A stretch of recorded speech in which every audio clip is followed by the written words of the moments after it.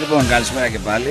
Εδώ θα είμαστε παρέα μέχρι και τις 9, μέχρι και τις 9 λέω. Ε, από τις 9 μέχρι και τις 12, έτσι 7-9 ήταν εδώ Basket City. Ε, από το 8 έως 10 πήγαμε σήμερα 7-9 εκτάκτος και 9-12 εκτάκτος σήμερα θα είμαστε εδώ με την εκπομπή από τις 10-12 μπαλαντέρα. Η εκπομπή θα λέγεται Come on England. Έτσι θα το κάνουμε σήμερα, έτσι με την Αγγλία να την παρακολουθούμε το Βέλγιο. Α, το Βέλγιο που έχει χάσει δύο μεγάλες ευκαιρίες ένα από ό,τι είδα μάλλον σαν δοκάρι και ένα πάνω στη γραμμή τη βγάλαν τα παλικαράκια μας. Η Αγγλία και το Βέλγιο που κατεβήκαν με τα δεύτερα έτσι. Τώρα δεν ξέρω αν κάποιος από τους δύο δεν θέλει να πάει πρώτος γιατί ο πρώτος πάει στη διασταύρωση των θηρίων. Α, στο Μουντιάλ ο δεύτερος πάει στο χαλαρό, στη χαλαρή διασταύρωση ο δεύτερος ο πρώτος πάει στα θηρία έτσι, δηλαδή πάει από εκεί που θα είναι όλη η Γαλλία, η Αργεντινή, η Βραζιλία, η Πορτογαλία, η Ουρουγουάη. Έτσι, όλοι από τη μία πλευρά έχουν μαζευτεί. Και από την άλλη είναι κάτι Βέλγια, κάτι ε, Ελβετίες, Σουηδίες, έτσι, ε, Ιαπωνία, Σενεγάλη, ε, Σενεγάλη, Κολομβιά. Παραλίγο εδώ, καλή φάση για την Αγγλία. Καλή φάση για την Αγγλία στο 11. Ε, οπότε είναι μεγάλο το ενδιαφέρον εδώ να δούμε τι θα κάνουν. Αν και οι δύο από ό,τι είδα μπήκαν δυνατά για την νίκη. Έτσι δεν είναι δηλαδή, δεν υπάρχει σκοπιμότητα να βγω δεύτερος να αποφύγω τους μεγάλους. Όπω έχει περάσει τους 16 δεν είναι τυχαία ομάδα. Α, δεν μπορείς να πεις ότι είναι μικρή ομάδα. Ξανά εδώ η φάση πριν. Τρομερό λάθος του τερματοφύλακα. Όχι, δεν έχει περάσει όλη την μπάλα. Α, τη γραμμή. Τρομερό λάθος του τερματοφύλακα της Αγγλίας. Ο οποίος του φύγε μέσα από τα χέρια η μπάλα. Νικόλα Μοσχοβίτη έβρες τη φραπεδάρα τώρα εδώ για να μας φτιάξεις. Να κάτσουμε μέχρι το βραδάκι εδώ παρέα με τους ακροατές του Λίμπερο. Τα λέμε. Τα λέμε λοιπόν. Τρία λιοντάρια. θα είμαστε λοιπόν εδώ παρέα μαζί σας με τους ακροατές του Λίμπερο μέχρι τις 12. Έτσι ο Θανάσης ο Κιλώνης είναι λίγο κρυωμένος λόγω έτσι των ημερών όσοι φάγανε βροχή είναι λίγο κρυωμένοι. Περαστικά να πούμε στο Θανασάρα. Α, θα είμαστε λοιπόν μέχρι τις 12. Θα ασχοληθούμε κυρίως με Μουντιάλ που έχουμε τα δύο παιχνίδια σε εξέλιξη. Αγγλία, Βέλγιο 0-0 και Παναμά στην Ισία 0-0. Τελειώνει και ο αγώνας της εθνικής ομάδας μπάσκετ με το Ισραήλ. Περίπατος για τους διεθνείς μας. Έτσι εύκολα τα πράγματα. Ο Βάρντι εδώ η κεφαλιά είναι έξω. Ε, με Βάρντι Ράσφορ ξεκίνησε η Αγγλία. Και έχει πάρα πολλές αλλαγές και αλλαγές βέβαια έχει και το Βέλγιο. Offside εδώ, καθαρό. Ήταν η φάση. Ο επόπτης τον πήρε λίγο ύπνος. 62-86 περίπατος στο Ισραήλ. Η εθνική που πάει για κατοστάρα κοντά στο Ισραήλ του, α, που χθες ο Πρίνη δήλωσε ότι εφόσον η Κορέα λέει και στη Γερμανία μπορεί να κερδίσουμε και εμείς την Ελλάδα. Αλλά δυστυχώς αδελφέ στον μπάσκετ κερδίζει ο καλύτερος. Δεν είναι όπως την μπάλα. Στο ποδόσφαιρο μπορεί να κερδίσει και ο Κλωτσοσκούφης.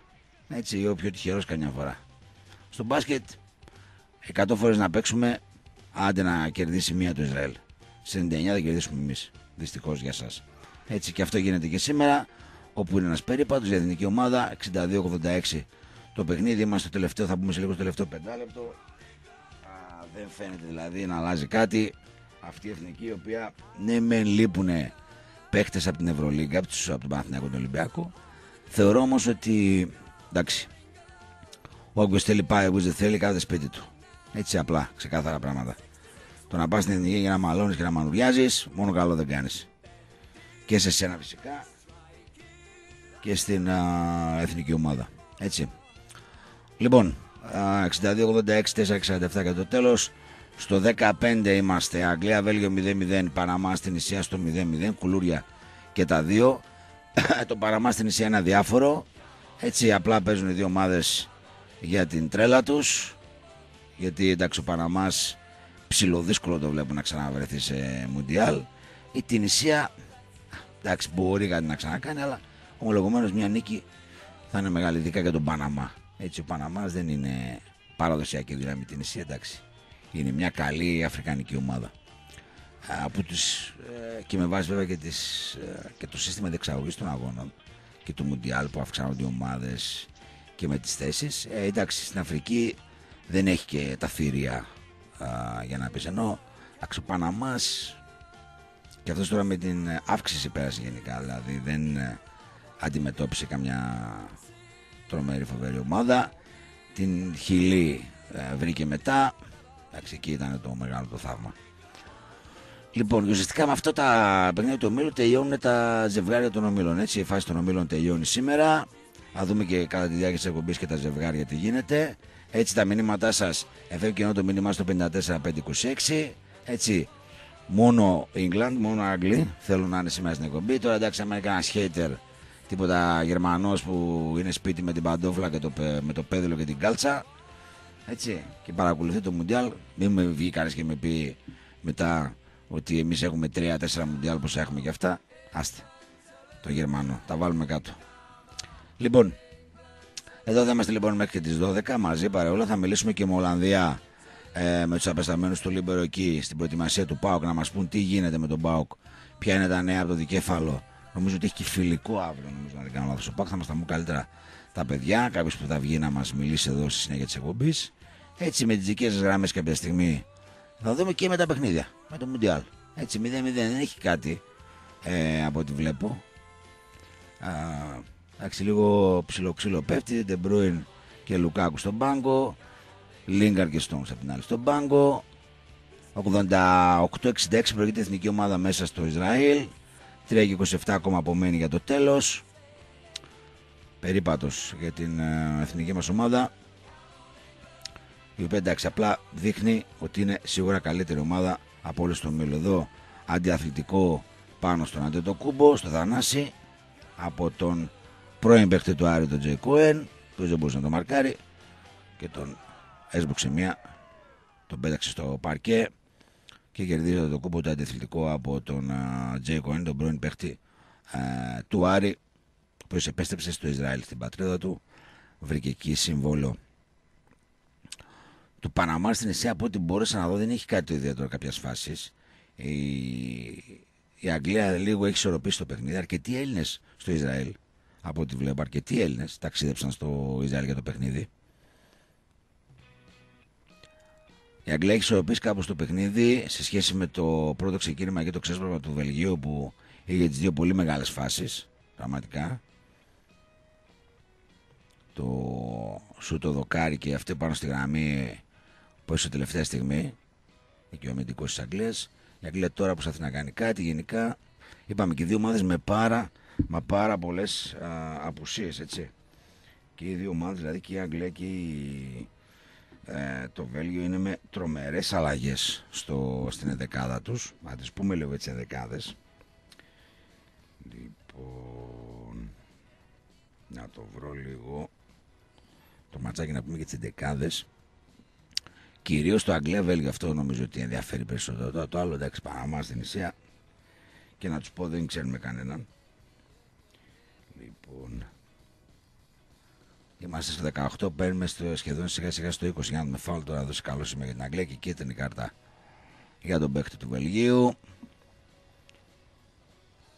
Λοιπόν, η Αγγλία έχει ξεκινήσει με Pickford, Jones, Stones και έχει Alexander Arnold, Loftus Cheek, Dyer, Delph, Rose, Rashford και Vardy είναι η Αγγλία. Καλή φάση τώρα εδώ από ό,τι βλέπω για, τον Παναμ, για, το, για την Τινησία, συγγνώμη να ανοίξει το σκορ.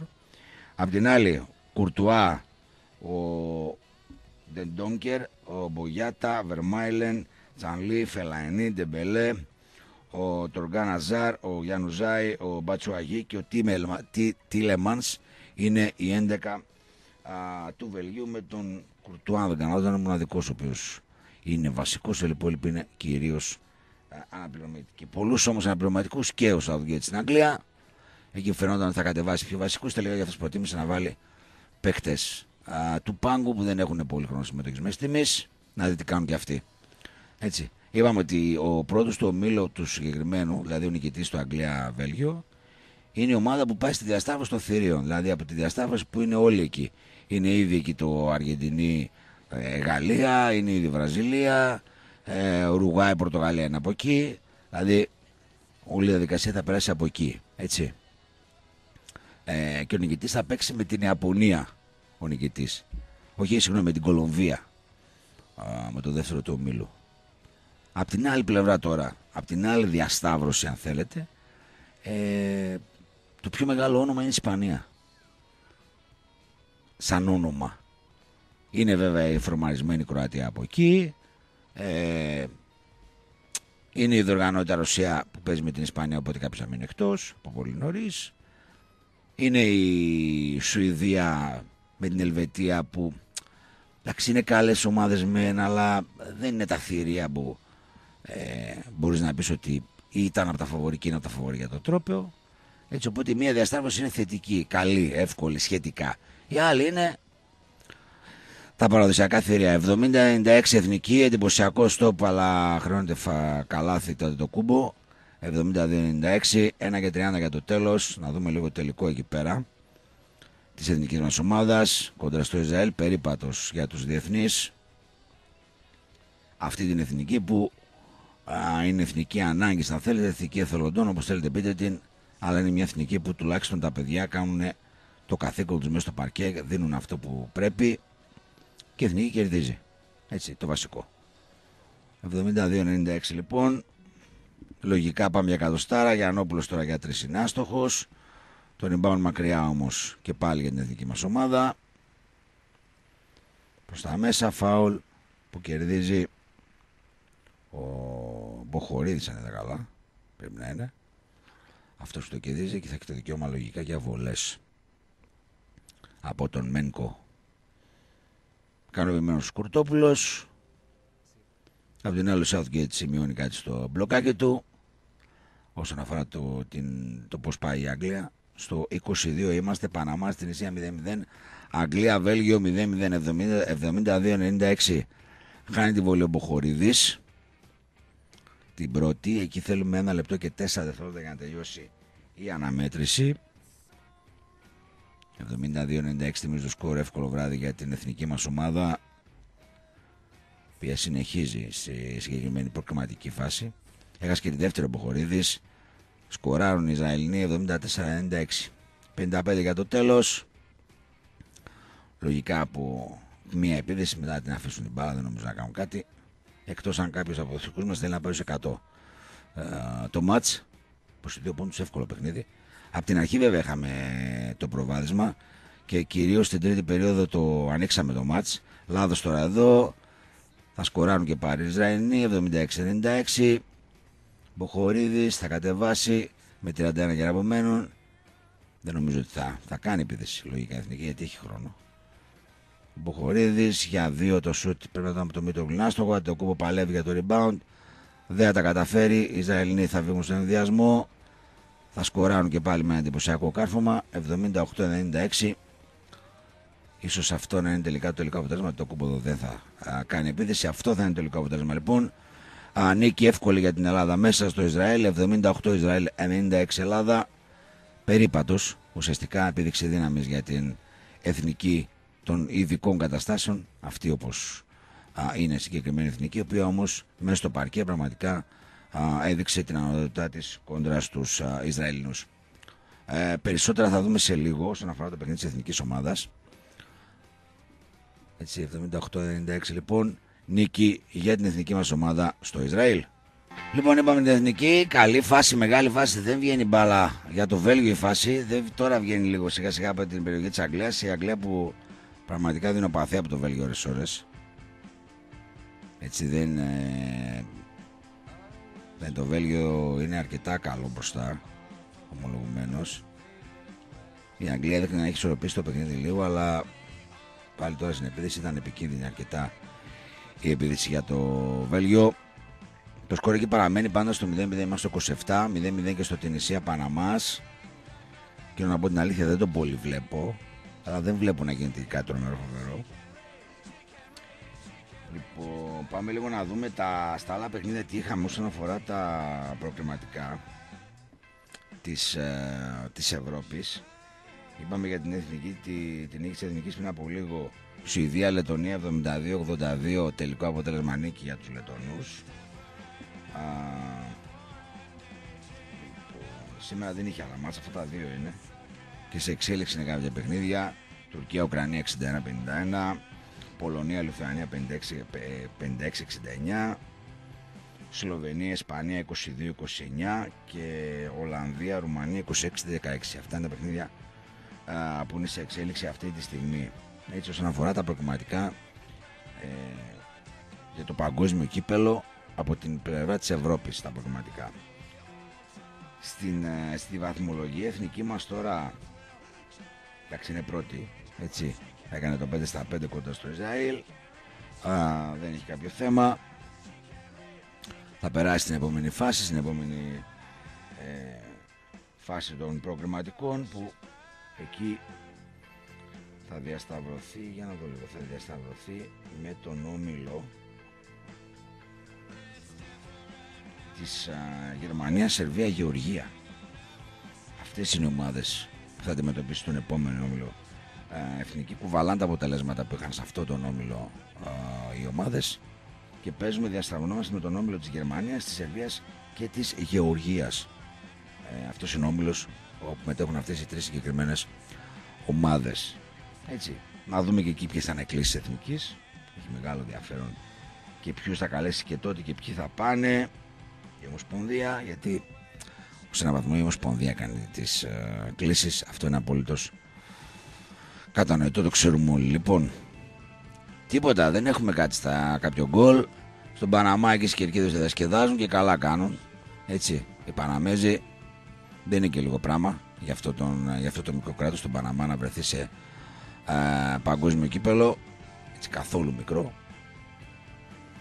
και το χαίρονται, το είδατε όλα στο και στο 6-1 της Αγγλίας μόλις βάλαν τον γκολ πανηγυρίζαν λες και πήραν τον παγκόσμιο έτσι αλλά εντάξει όταν πρώτη φορά που πας και εμείς όταν πήγαμε πρώτη φορά στο παγκόσμιο λέγαμε βάλει ένα γκολ. Γυρίσαμε με 10-0 έτσι. Μετά βέβαια ήρθαν άλλα γούστα για την Ελλάδα με μεγαλύτερο φυσικά το... την κατάξη του 2004 έτσι, τη μεγαλύτερη, α, τη μεγαλύτερη μας επιτυχία ουσιαστικά σαν ελληνικό ποδόσφαιρο.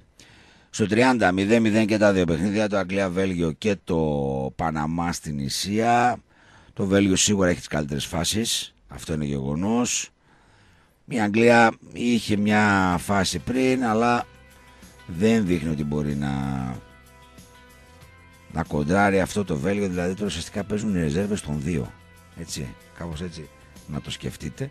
Παίζουν οι ρεζέρβες των δύο. Έτσι, και οι ρεζέρβες των, ε, των Βέλγων μέχρι στιγμής θα πάνε πάρα μα πάρα πολύ καλά. Για να δούμε τον Αγγλία τα δεξιά. Η σέντρα που γίνεται απευθείας παραλίγο δεν το ήθελε, σίγουρα δεν το ήθελε. Ο παίκτης της Αγγλίας για άλλο πήγε, άλλο του βγήκε. Ο Κουρτουά ξεγελάστηκε, αλλά η μπάλα ευτυχώς για αυτόν Δυστυχώς για μας πέρασε πολύ λίγο. Ήταν πολύ επικίνδυνο. Αλλαγές από ό,τι βλέπω. Κέιν σήκωσε, Λίγκαρτ σήκωσε, ο Southgate. Για να δούμε αν θα τον βάλει τον Κέιν. Ο Κέιν ο οποίος είναι πρώτος σκόρερ. με 5. αν θα τον βάλει λίγο. Αλλά δεν νομίζω μάλλον στο λογικά στο ημίχρονο να κάνει αλλαγές.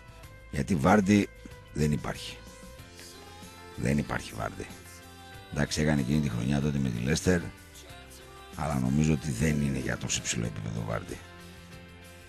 Δεν ε, μπορείς να πεις ότι εντάξει, θα τον βάλω στην εθνική να παίξει σε επίπεδο μου σε, σε, σε λογική μου τώρα Βάρντι. Καλός χρυσός για την Αγγλία, εκεί ναι, δεν είναι όμως για τόσο ψηλά. Έτσι, και φάνηκε νομίζω και τώρα. Και στο προηγούμενο τουρνά που τον είχε πάρει. Δεν είχε δείξει εντάξει, για μένα κάτι ιδιαίτερο.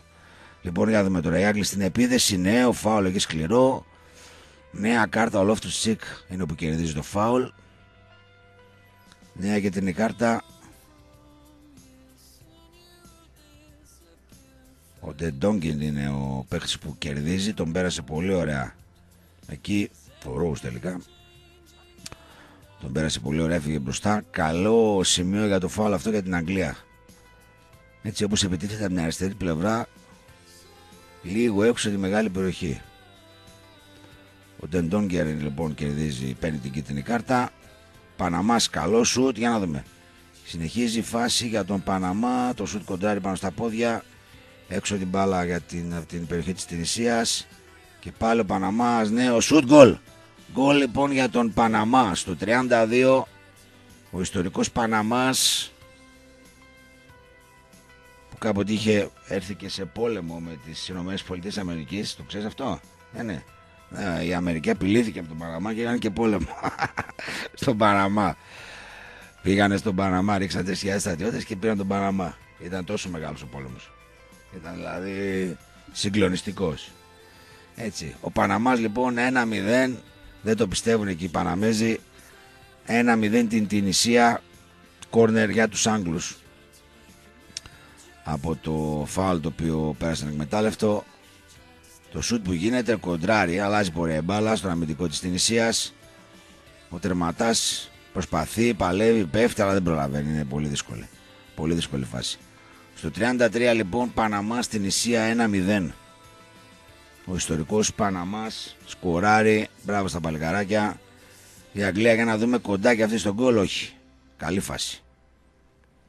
Καλή φάση, δεν πέρασε η κεφαλιά τόσο κοντά τελικά. Ναι, ήταν πολύ έξω. Καλό σημείο για το Λόφτος Τσίκ. Αλλά η κεφαλιά του πέρασε out. Λοιπόν, 1-0 Παναμάς, 0-0 Αγγλία Βέλγιο, 1-0 Παναμάς την Ισία λοιπόν στο 34-35 βρισκόμαστε εκεί. Δεν ξέρω, πάμε να κάνουμε διαφημίσεις το ημίχρονο. Θες, ε; Έχουμε καμανίγκλα από κάτω λίγο να τους ξυπνήσουμε. Βάλε κανένα καμανίγκλα, σου είπα.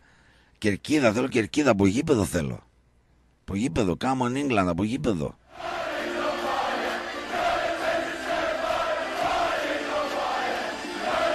Πάλι με το βάρτι, αυτό δεν έβαλε πάλι το βάρτι. Δεν θέλω το βάρτι, βάρτι σέρνεται.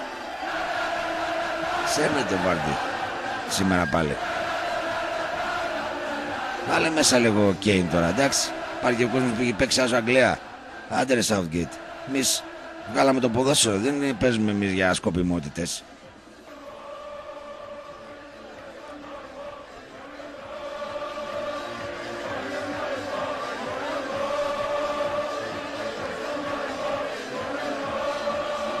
Να δούμε κόρνερ για το Βέλγιο. Κεφαλιά. Πάρα πως τα έξω πάει. 35 βρισκόμαστε στα παιχνίδια του Μουντιάλ. Τελευταία αγωνιστική, τελευταία αγώνες των φάσης των ομίλων. Παναμά στην Ισία 1-0 στο 35. Αγγλία Βέλγιο. Κίμωνας Κουλούρης 0-0. Έτσι. Και οι δύο, το Βέλγιο έχει τις καλύτερες φάσεις, αλήθεια, ομολογουμένως. Έχει τις καλύτερες φάσεις, αλλά δεν έχει τον γκολ. Η Αγγλία κάτι προσπαθεί να κάνει, αλλά δεν. Για να δούμε τώρα. Ράσφορντ 2 με 3 είναι Ράσφορντ, η σέντρα προς το Βάρτι. Δεν υπήρχε περίπτωση να βάλει γκολ και ο Βάρτι. Συγγνώμη όλα. Αυτή η σέντρα που έκανε ο Ράσφορντ τώρα εκεί είναι για να είναι ο Ζλάταν, όχι ο Βάρτι. Στο 1,70. Ο Ζλάταν εκεί είναι το καρφώσει. Ο Βάρτι δεν.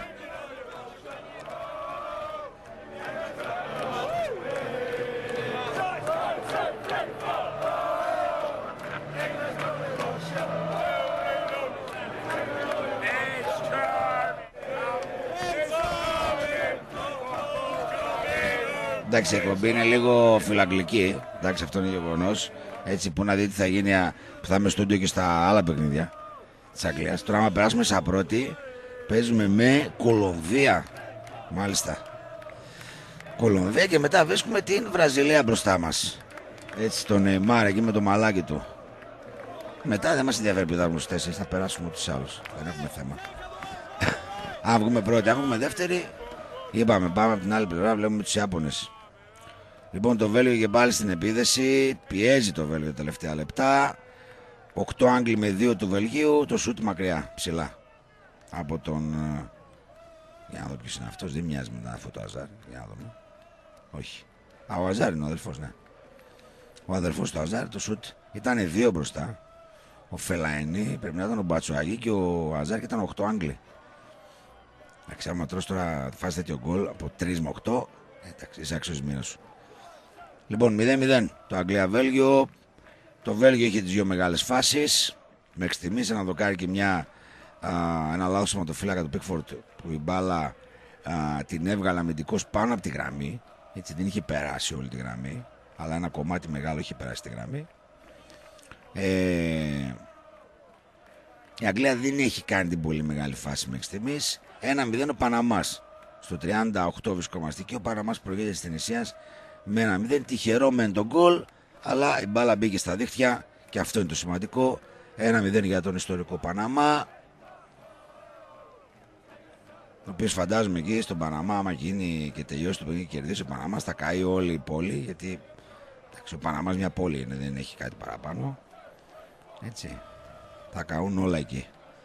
Παραλίγο το 1-1 από την Τινησία. Παραλίγο πολύ μεγάλη φάση για την Τινησία. Παραλίγο το 1-1. Έτσι. Η σέντρα που έγινε ωραία κάθε την παλιά, σέντρα από τα αριστερά. Θετικό βγήκε μπροστά, ωραία κεφαλιά, πολύ ωραία. Η μπάλα όμως ελάχιστα από το αριστερό δοκάρι του Μεσβέκα του Παναμά. Πολύ ωραία. Θα ήταν και άμα έμπαινε κολάρα θα ήταν. Πραγματικά. Άμα έμπαινε θα ήταν κολάρα. Άμα το βάζε ο παίχτη. Λοιπόν, μπαίνουμε στο τελευταίο 7 λεπτό ουσιαστικά. Μέχρι στιγμής από ό,τι είδα δεν έχουμε την χρήση του βάρ ευτυχώς γιατί με αυτό το βάρ μας έχουν, μας έχουν πρίξει ρε παιδιά. Δηλαδή κάθε φάση ότι γίνεται βάρ, τρέχει ο ένας βάρ, τρέχει ο άλλος βάρ. Όλοι δίνουν στο διαιτητή την, ε, την οθόνη. Εκεί που κάναν κάποτε καρδούλες, τώρα κάνουν οθόνες όταν πάνε γυρίζουν. Με αυτό το βάρ. Εντάξει, είπαμε να το χρησιμοποιήσει για κάποιες φάσεις, αλλά αυτό που γίνεται, ειδικά σε αυτό το Μουντιάλ, και του χρόνου θα έρθει και στην Ελλάδα αυτό, μάλιστα. Θα έχουμε καλά γέλια, άμα έρθει στην Ελλάδα το βάρ. Έτσι, θα γελάμε όλοι. τα μάτια ξεκινάνε στις 6 και τελειώνουν στις 10.30 τα μάτια στο ελληνικό πρωτάθλημα. Με τόσο βάρ που θα πέσει. Εδώ ήδη καθυστερούν, φαντάσου, και είναι Μουντιάλ. Φαντάσου.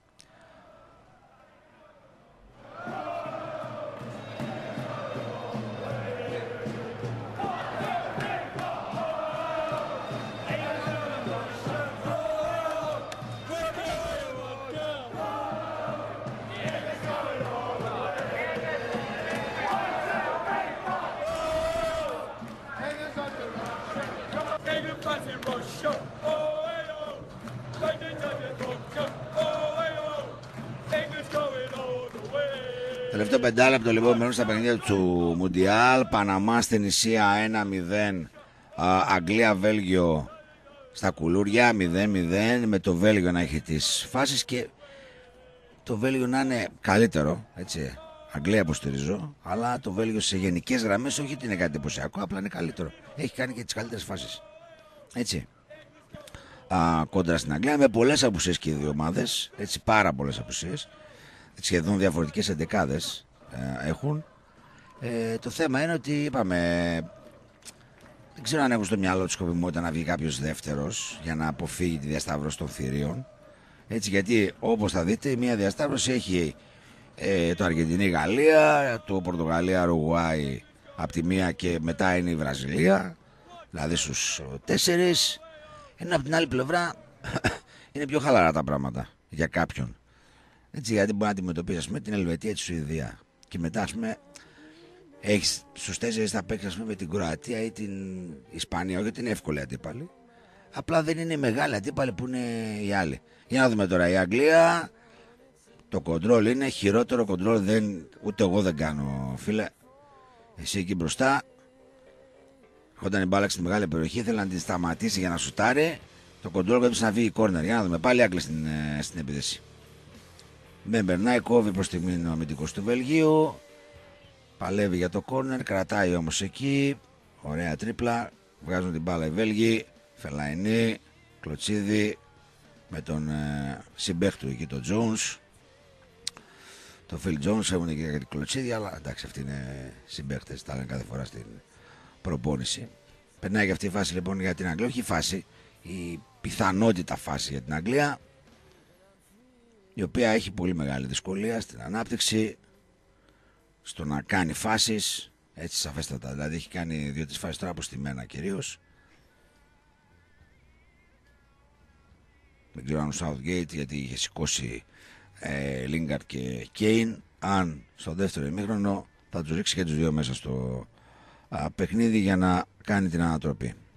FM κοινότητα μηνύματα στο 54526 124 χρεώσει συμπεριλαμβάνουμε και χρεώσεων και ΦΠΑ και χρεώσεων κινητής τηλεφωνίας. Έτσι, επικοινωνία εδώ με την εκπομπή. Θυμίζω, θα πάμε μαζί μέχρι τις 12 με την έκτακτη εκπομπή Κάμαν England γιατί η Μπαλαντέρ δεν θα έχουμε σήμερα. Καθώς θα ο Κιλόνη, λίγο έτσι με την γρήπη, με τις βροχές, με αυτά. Το παιδί, εντάξει, περαστικά να είναι, θα είναι εδώ σύντομα κοντά σας για την ανάλυση του Μουντιάλ και όχι μόνο. Έτσι σήμερα αναλαμβάνουμε λοιπόν εμείς εδώ στο στούντιο μέχρι και τις 12 με Μουντιάλ και φυσικά με Ολλανδία. Θα μιλήσουμε με τους ε, απεσταλμένους του Λίμπερο στην προετοιμασία του ΠΑΟΚ λίγο πιο μετά. Να δούμε τα νέα και από τον ΠΑΟΚ σήμερα τι γίνεται, τι είχαμε σήμερα, τι περιμένουμε αύριο. Τα πάντα. Έτσι εδώ στο Λίμπερο 107 και 4. Εμείς θα κάνουμε ένα διάλειμμα διαφημιστικό μόλις τελειώσουν και τα ημίχρονα έτσι για να μην πάμε κανένα διάλειμμα και μπει κανένα γκολ και το ακούσετε από αλλού, το ακούσετε από εμάς εδώ. Κίτρινη για την Τινησία. Σασί θα πάρει την κίτρινη κάρτα. Παναμά στην Ισία 1-0, 43 είμαστε εκεί, 30, 43 και 30 στα παιχνίδια, 1-1,5 λεπτά απομένει. Στα Αγγλία Βέλγιο Πασούλες. Δηλαδή δεν βλέπω στο δεύτερο να αλλάξει κάτι. Δηλαδή, εντάξει, το, το Βέλγιο καλά στάθηκε παρά τις αλλαγές. Η Αγγλία δεν μπορώ να πω ότι με ενθουσίασε ιδιαίτερα. Εντάξει. Εντάξει, δεν είναι η Αγγλία, η παλιά Αγγλία. Έτσι, γιατί στο παρελθόν η Εθνική Αγγλία έχει πολύ καλύτερες ομάδες. Σε σχέση με αυτήν. Έτσι, αλλά εντάξει, τώρα τα δεύτερα λες λίγο κάτι να κάνουν. Αλλά δεν, δεν, δεν βλέπω να κάνουν κάτι. Κάτω του μεταξύ τώρα βλέπω Μουντιάλ 1980 Βραζιλία. Έτσι, με Σόκρατες. Το μεγάλο παιχνίδι αυτό με την Ιταλία το 3-2. Έτσι, ματσάρα, ματσάρα πραγματικά. Από τα πρώτα παιχνίδια που θυμάμαι, που είδα, από τα πρώτα παιχνίδια, που είδα Μουντιάλ, ποδόσφαιρο, Καλλικράτεια, καλοκαίρι το 82, έτσι. Εγώ φυσικά ήμουνα με την Αγγλία, έτσι, Μπράιν Ρόμψο και τέτοια, αποκλειστήκαν πολύ νωρίς φυσικά. Πάρα πολύ νωρίς. Και μετά βλέπαμε αυτό και βλέπαμε όλη τη Βραζιλία τότε μεγάλη, απίθανη ομάδα. Έτσι. Απίθανη ομάδα. Παλκάο, Σόκρατες, Ζήκο, Τζούνιορ, αξιομαδάρα. Έντερ και βέβαια χάσαν 3-2 με Παόλο Ρώση, 3 γκολ. Η Ιταλία σερνόταν σε εκείνο το τρουνά όλο, ο Ρώση δεν βλεπόταν. Αλλά εκεί που έπρεπε να κάνει τη ζημιά, σε ένα περίεργο σύστημα διεξαγωγής. Έτσι ήταν λίγο περίεργο το σύστημα διεξαγωγής. Έκανε αυτό που έπρεπε. Ο Ρώση έβαλε τα τρία γκολ και η Ιταλία βρέθηκε στον τελικό. Απέναντι στη Γερμανία, βέβαια, που η Γερμανία πήγε τότε τελικό. Γιατί αντί ο, ο, ο Σουμάγερ τότε να είναι στον πάγκο και μάλλον να είναι πουθενά αλλού να του έχουν πάρει το, το δίπλωμα, το τερματοφυλάκα για εκείνο το, το, το έγκλημα που είχε κάνει, ο, στον Μπαστόνα, δεν κάνω λάθος, που ήταν κόκκινη κάρτα εκείνο η καρατιά που τον είχε δώσει στο Γαλλία, στο ημιτελικό στο Γαλλία-Γερμανία, ούτε κάρτα, ούτε παρατήρηση δεν πήρε. Και ο άλλος βέβαια είχε πάει στο νοσοκομείο. Για όσους παλιούς θυμούνται αυτά τα, το τουρνά τότε, έτσι. Για να σου πει ο άλλος που εμείς παίξαμε τελικό η Γερμανία. Έπαιξε τελικό το 82. Ναι, ρε φίλε, έπαιξε τελικό γιατί ο τερματάς σου βγήκε, έδωσε την καρατιά στον άλλο τσάκι τσάν στο λαιμό και δεν έβαγε ούτε κόκκινη. Και το, το άφησε ο διαιτητής και πέρασε. Γιατί να αποκλείσει από εκείνη την εκπληκτική Γαλλία του Πλατινί, Ζηρέ, ξέρω εγώ, την Κανά, Πέρασες, ας πούμε, τελικό εσύ και τι έκανες, τίποτα. Τα έλεγε γεια σας. Έτσι. Πραγματικά. Δηλαδή, γιατί από χθες είναι αλήθεια το ελληνικό facebook από χθες χαίρεται πάρα πολύ για τον αποκλεισμό της Γερμανίας. Και εγώ είμαι μέσα σε αυτούς που χαίρομαι γιατί. Εντάξει. Έχω ένα θέμα με τους Γερμανούς γενικά. Λοιπόν, α, η Μήχρονα δεν άλλαξε κάτι. Η Μήχρονα βασικά είναι το Αγγλία-Βέλγιο 0-0 άλλαξε κάτι. Παναμά στην Ισία 1-0. Εκεί τελειώνει τώρα το, το δίλεπτο των καθυστερήσεων. Κρατάει και ο ιστορικός Παναμάς για να πετύχει την πρώτη νίκη σε παγκόσμιο κύπελο κοντά στην Τινησία. Πάει τώρα ημίχρονο και άμα είναι θα πάμε στη διαφημίσει κι εμείς. Τέλος, ημίχρονο και εκεί λοιπόν Παναμά στην Ισία στο 0-0. Δεν άλλαξε κάτι και εκεί λοιπόν. Οπότε α, ηρεμία και στα δύο παιχνίδια. Α, Παναμά στην Ισία 1-0. Αγγλία-Βέλγιο στο 0-0. Να δούμε τι μας επιφυλάσσει στο δεύτερο ημίχρονο. Κυρίως στο ντερμπάκι του ομίλου, στο Αγγλία-Βέλγιο. Λοιπόν, θα πάμε ο Μερι, Μεριά από ό,τι βλέπω. Χρεώθηκε αυτό γκολ. Λογικό του Παναμά γιατί άλλαξε μπάλα κατεύθυνση. Έτσι δεν χρήστηκε σκόρ. Άλλαξε μπάλα κατεύθυνση α, και ξεγέλασε και το ματοφυλάκα. Λοιπόν, πάμε σε ένα σύντομο break και επιστρέφουμε σε λίγο εδώ. Λίμπορ 107 και 4 μέχρι τις 12 θα είμαστε μαζί με πολύ Μουντιάλ. Λοιπόν, εδώ και πάλι Λίμπορ 107 και 4 μαζί μέχρι και τις 12 στο πόδι Θανάση του Κιλόνι. Uh, λοιπόν, ξεκινάνε σε λίγο σε δευτερόλεπτα τα δεύτερα ημίχρονα στο Παναμά στην Ισία 1-0, Αγγλία, Βέλγιο, Κουλούρι και, τα, και οι δύο. Χειμώνας Κουλούρι, 0-0 δηλαδή. Θα δούμε τώρα αν έχουν και αλλαγές εκεί οι Άγγλοι, οι Βέλγοι. Δεν βλέπω κάτι ιδιαίτερο. Λοιπόν, όσον αφορά την εθνική ομάδα α, που κέρδισε, διέλυσε το, το Ισραήλ με 96-78, να πω λίγο για την εθνική μας το, το κούμπο Θανάση 8 πόντους, 9 για τον Λευτέρη Μποχορίδη με 1-2 τρίποτα, 2-4 δίποτα, 2-4 βολές, 5 rebound επίσης, μία assist. Ο Χάρης ο Γιαννόπουλος είχε 6 πόντους, ο Γκίκας είχε 2, ο Μήτρογλου πρώτος σκόρερ με 21 πόντους, ο Κώστος Μήτρογλου, Αθηναίου ε, συμμετοχή με 0 στο 1 τρίποντο, ο Μπουρούς είχε 8 πόντους, ο Κατσίβελης συμμετοχή, ο Λαριτζάκης 17, ο Μάντζαρης 5, ο Μαργαρίτης 8, ο Βασιλόπουλος 12 πόντους για την δική μας ομάδα. Από το Ισραήλ πρώτος σκόρ ήταν ο πρώην παίκτης του Άρη, ο Τζέι Κοέν με 21 πόντους και 5 rebound από ό,τι βλέπω εδώ. Ο γιος του Μπλατ, ο Ταμίρ Μπλατ είχε 12 πόντους. Έτσι ο γιος του Μπλατ, που και αυτός είναι μέλος της εθνικής ομάδας του Ισραήλ. Έτσι. Λοιπόν, τελικό επίσης έχουμε Τουρκία, Ουκρανία 80-66, Πολωνία, Λιθουανία 61-79. Ε, τα παιχνίδια. Σε εξέλιξη επίσης έχουμε τώρα αυτή τη στιγμή το Σλοβενία, Ισπανία 37-45, Ολλανδία, Ρουμανία 37-24, Κόσοβο, Ουγγαρία 28-30, Ιταλία, Κροατία 17-17 και Μαυροβούνιο, Λευκορωσία 2-2. Έτσι αυτά είναι τα παιχνίδια που έχουμε, θυμίζω, για την προκριματική φάση ε, μπάσκετ για το παγκόσμιο κύπελο είναι αυτές οι αναμετρήσεις. Η πρώτη φάση, ο πρώτος γύρος, στο δεύτερο γύρο ενώνονται οι όμιλοι, περνάνε τρεις πρώτοι, γίνονται όμιλοι των έξι, έτσι μεταφέρουν τα αποτελέσματα από, το, από τον πρώτο γύρο στον δεύτερο. Ουσιαστικά δηλαδή οι τρίτοι, απλά παίζουν για να παίζουν. Έτσι, πολύ δύσκολο να κάνουν κάτι, να κάνουν τρεις νίκες δηλαδή. Α, η εθνική μας λοιπόν, η οποία επικράτησε εύκολα το Ισραήλ, όπως είπαμε πριν, με 96-78. Έτσι. Λοιπόν, στο Μουντιάλ, τελευταία αγωνιστική, τελευταία, τελευταία παιχνίδια στη φάση των ομίλων είναι τα σημερινά που έχουμε. Από την, τα επόμενα ξεκινά πλέον τα νοκάουτ. Να δούμε λίγο και το πρόγραμμα όσον αφορά το παγκόσμιο κύπελο, το Μουντιάλ. Τι γίνεται εκεί, πώς είναι, πότε ξεκινάνε τα παιχνίδια για τα σχετικά, να τα δούμε λίγο. Και αυτά πήγε να γίνει μια καλή φάση για την Αγγλία με το Ράσφορντ, το σούτ όμως απελπιστικά out. Σήμερα είχαμε να πούμε Σενεγάλη, Κολομβία 0-1, Ιαπωνία, Πολωνία 0-1. Προκρίθηκε η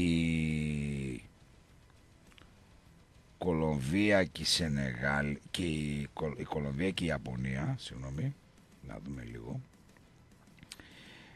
Η Κολομβία και η Ιαπωνία προκριθήκαν, η Σενεγάλη έμεινε εκτός. Ε, πρώτη Κολομβία, δεύτερη Ιαπωνία. Οπότε εγώ έκανα λάθος. Ο νικητής του Αγγλία-Βέλγιο θα παίξει με την Ιαπωνία. Ο Ράσφορντ εδώ για να με περνάει. Όχι, κόβεται εκεί με φάουλ και όλο κάνει επιθετικό φάουλ. Ε, η Σενεγάλη, η οποία αποκλείστηκε, καθώς οι ισοβαθμίες με την Ιαπωνία ήταν σε όλα το ίδιο μέχρι τις κάρτες, τις κίτρινες κάρτες.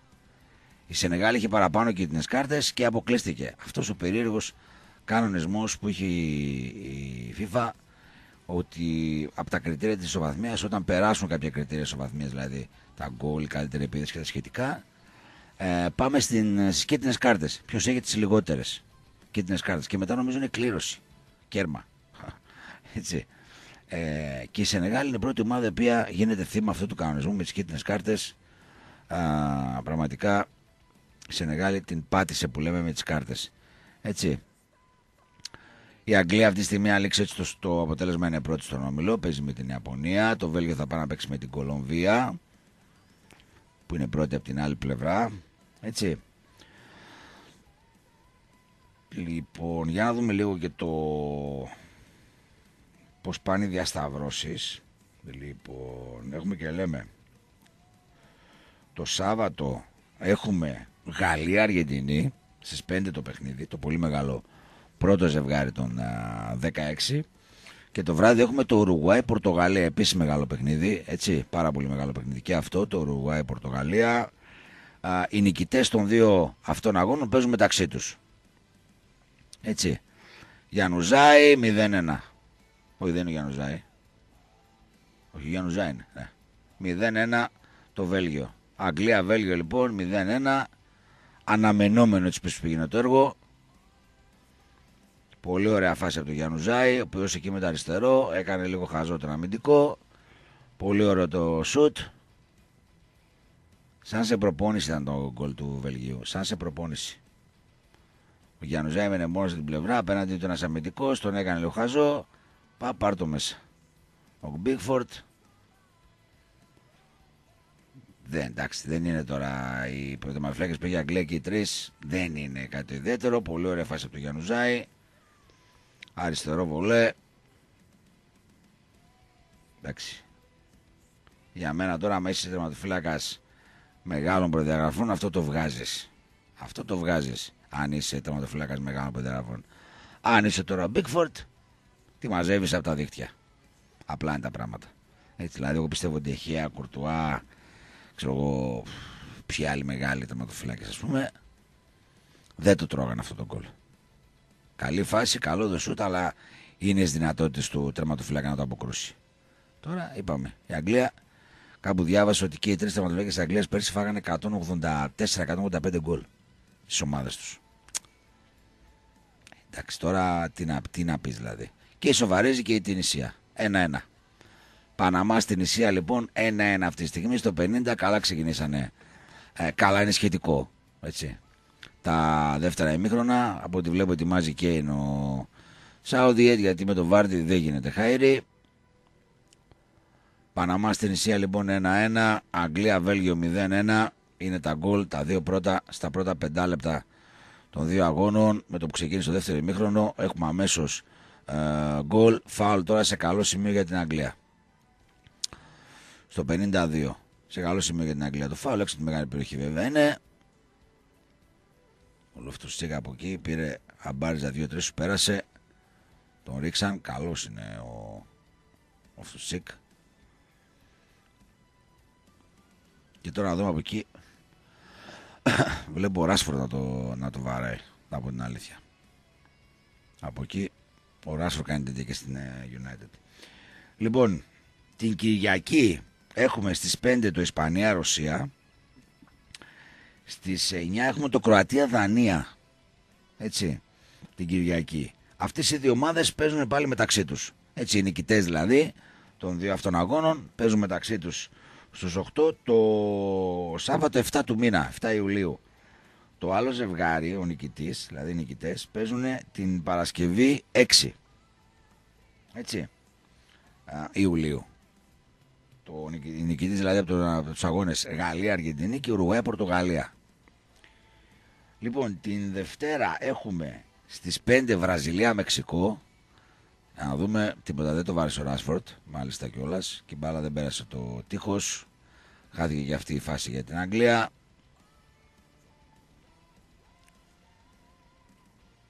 Πήγαμε, ο δεύτερος θεωρητικά πάει σε, ένα, σε μια διασταύρωση πιο εύκολη. Αλλά και αυτό πάλι ξαναλέω είναι θεωρητικό. Είναι θεωρητικό. Έτσι. Λοιπόν, Α, την Δευτέρα λοιπόν στις 5 έχουμε το Βραζιλία-Μεξικό.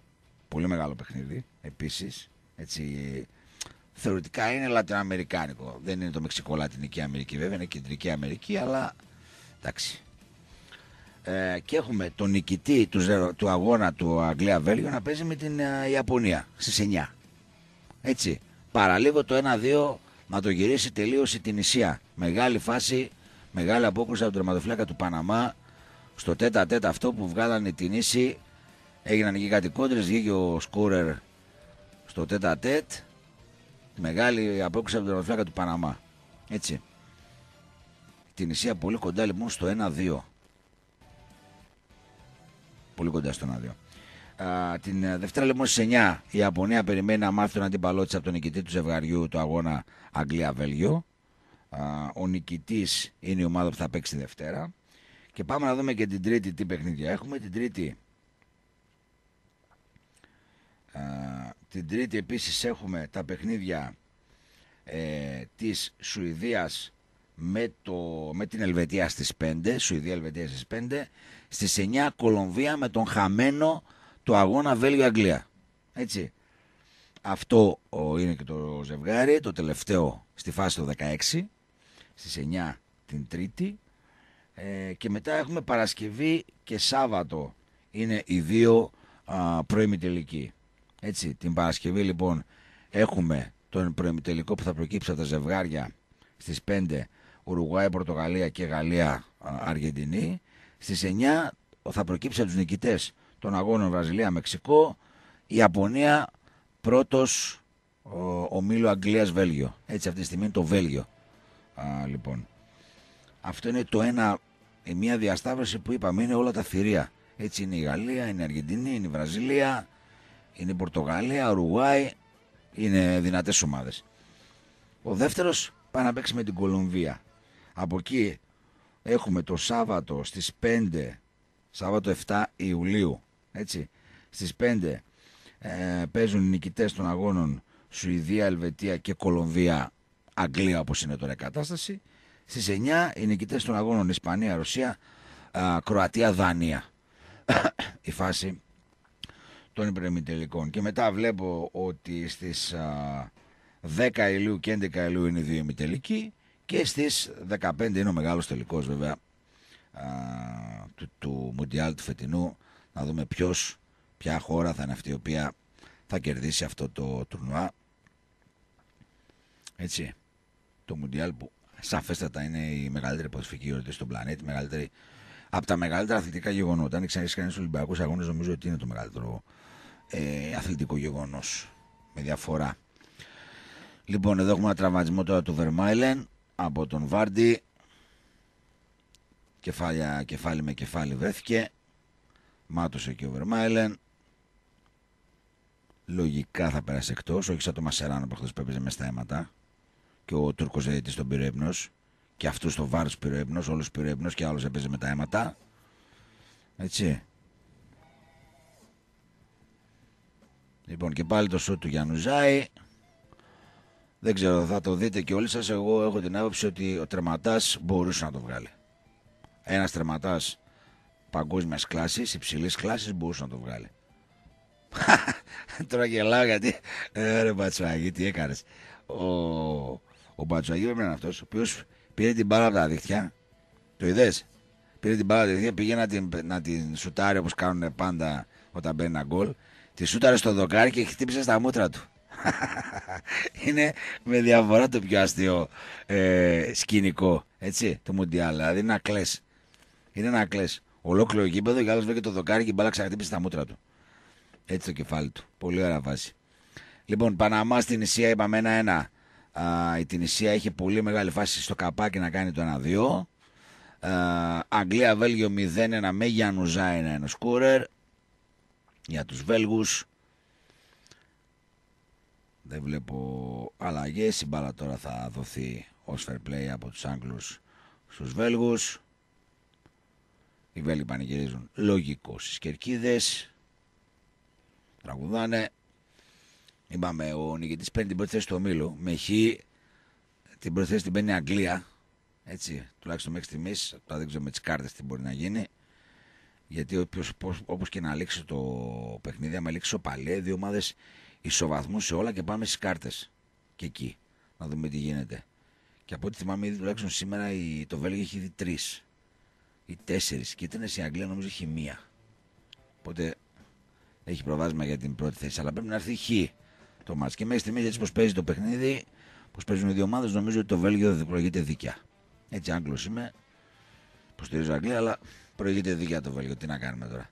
Δεν έχουμε κάνει φάση. Με το Βάρντι μπροστά δεν κάνουμε φάση. Τι να κάνουμε τώρα, αφού ο Southgate έβαλε τα δεύτερα. Τα δεύτερα τα δικά μας είναι πιο χάλια από τα δεύτερα των Βέλγων. Απλά μαθηματικά. Έτσι.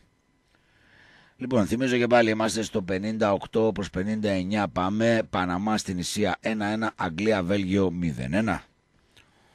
Λοιπόν, δεν έχει αλλάξει κάτι στο διάστημα που ακούω τη μουσική, καθώς uh, βλέπαμε λίγο ο όσον αφορά και τις εθνικές της δηλώσεις τι γίνεται όπου ο Θανάσης Κουρτόπουλος μίλησε με τα καλύτερα για τους παίκτες του για τη συμπεριφορά τους στο παιχνίδι αυτό με το Ισραήλ μεγάλη φάση για τον Παναμά δεν έχει τελειώσει ο τερματάς του της Τινησίας έκανε εκεί μια έξοδο Μεσολογγίου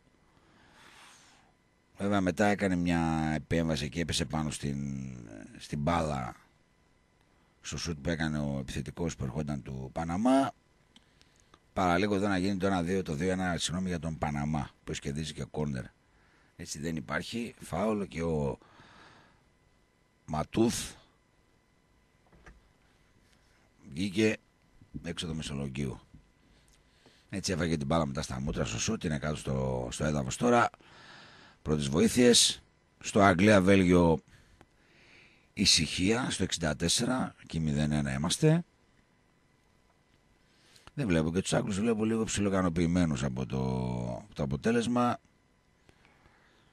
Είπαμε εδώ είναι από τη μία θέλω να κερδίσω γιατί εντάξει ναι θέλω να μην δείξω το εγωσκοπημένο την άλλη όμως άμα βγω και δεύτερος ναι, εντάξει, γλιτώνω από Βραζιλία, Αργεντινή, Γαλλία.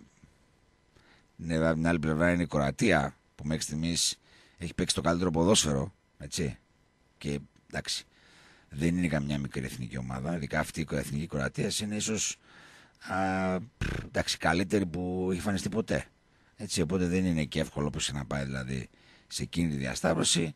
Πέρα ότι υπάρχει και η Ισπανία που Εντάξει, μπορεί να μην είναι σε καλή κατάσταση, αλλά δεν πάβει να είναι η Ισπανία. Η Κροατία που είναι σε σούπερ κατάσταση. Έτσι δηλαδή, να, να διαλέξεις να πας από την άλλη για να περάσουμε ένα γύρο θεωρητικά. Για να δούμε τώρα. Η Αγγλία, τέτα τε, το σουτ, out. Μεγάλη φάση. Τη χάνει το που λένε μου Ράσφορντ. Μεγάλη φάση.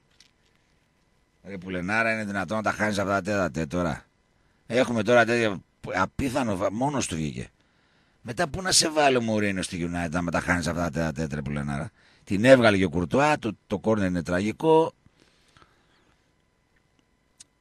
Κόρνερ και στην Αγγλία γιατί την απέκρουσε το Κουρτουά, αλλά όταν είσαι σε τέτα τέτοιο δεν μπορεί εκεί ο τερματοφύλακα να τα αποκρούει. Θα κάνεις ένα σούτ για να το τελειώσεις. Ο Ράσφορ δυστυχώς την έχασε τη φάση για μας. Την έχασε. Πολύ μεγάλη βάση. Ήταν ωραία η κάθε την παλιά που έγινε. Ο Ράσφορντ έφυγε πίσω την ε, γραμμή του Βελγίου. Βρέθηκε μόνος του με τον Κουρτουά. Οι κάμερες στο Κέιν που, σαν να μας λέει ο σκηνοθέτης, ότι άμα ήταν αυτός δεν το είχαν μάγκες. Έτσι, άμα ήταν ο Κέιν δεν το είχαν. Το έχασε ο, ο Ράσφορντ, η πουλενάρα μου. Άρε πουλενάρα. Σούτα από μακριά, η μπάλα στο Θεό. 2-1 η Τινησία. Το γυρίζει η Τινησία κόντρα στον Παναμά. Πανηγυρίζουν εκεί και οι Τινήσιες. Και η Τινήση 2-1 λοιπόν το γυρίζει η Τινησία. Εδώ δεν είδα εγώ απέκρουση του Κουρτουά. Είδα να τη στέλνει έξω ο Ράσφορτ. Ο οποίος τραβάει μετά τα μαλλιά του. Μικρέ αυτά δεν πρέπει να τα χάνεις. Για να γίνεις μεγάλος αυτά πρέπει να τα καρφώνεις. Έτσι για να ξεχωρίσεις από τη μάζα. Αυτά δεν τα, τα τελειώνεις αυτά. Λοιπόν 2-1 η Τινησία γυρίζει το παιχνίδι λοιπόν κοντρα στον ιστορικό α, Παναμά. Παναμά στην Ισία 1-2. Νομίζω εδώ η ανωτερότητα των α, Τινήσεων βγαίνει σιγά σιγά. Καλός χρυσός ο Παναμάς, συμπαθητικός αλλά α, η Τινήση γενικά είναι, φαινόταν ότι είναι καλύτερη ομάδα. Λοιπόν και πάλι ο Ράσφορ προσπαθεί να βγει. Κουρτουά όμως μπλοκάρει την μπάλα ο Μπεν Ιούσεφ το δεύτερο γκολ για την, α, την Ισία Παναμά στην Ισία λοιπόν 1-2 στο 66 Τρία γκολ ήδη στο δεύτερο ημίχρονο έχουμε και στα δύο παιχνίδια. Δύο για την Τινησία και ένα για το Βέλγιο. Αγγλία-Βέλγιο εκεί παραμένει το 0-1. Έτσι για τους Βέλγους. Με τον γκολ του Γιάννου Ζάη. Η Τινησία πέρα και πάλι θα βγει τώρα προσπαθεί να βγει μπροστά. Ξανά πάλι την ίση ε, βγαίνουν μπροστά. Περνάει η σέντρα. Στην άλλη πλευρά είναι ε, ακόμα ένας παίκτης της Ισία. Πέφτει κάτω για να δούμε τίποτα. Τίποτα εδώ. Και μην τολμήσει να πας και στο βάρ τώρα για αυτή τη φάση. Όχι, τελικά το αφήνει. Τέλος. Λοιπόν, Παναμά στην Ισία 1-0 στο 67 είμαστε εκεί. Στο 69 στο Αγγλία-Βέλγιο 0-1 με το Ράσφορντ πριν να χάνει μια μοναδική ευκαιρία να ισοβαρήσει το σκορ, το παιχνίδι. Τέτα τέτα πίθανο απέναντι στον Κουρτουά και την έστειλε την μπάλα έξω. Έτσι. Όπως φάνηκε το replay, εγώ δεν είδα την ακουμπάει ο Κουρτουά. Παρότι πήγε η μπάλα κόρνερ. Το Southgate από ό,τι βλέπω δεν ε, σκέφτεται να αλλάξει κάτι. Ο Κέν ζεσταίνεται εδώ και κανένα μισάωρο. Θα κάει στο κάψιμο Κέν, στο ζέσταμα. Προσπαθεί η Αγγλία να βγει μπροστά, αλλά δεν φαίνεται ικανή να κάνει κάτι. Το Βέλγιο τώρα έχει κάτσει και πίσω, λογικό είναι. Θα χτυπήσει στην κόντρα. Είπαμε, αυτό είναι περίεργο παιχνίδι γιατί Απ' τη μία δεν θέλεις να, να κάτσεις να χάσεις για να μην σε πούνε ότι έχεις σκοπιμότητες και θετικά. Απ' την άλλη βέβαια θεωρητικά ο δεύτερος πάει σε μια καλύτερη διασταύρωση. Η Αγγλικά βάλει στην επίθεση για να δούμε.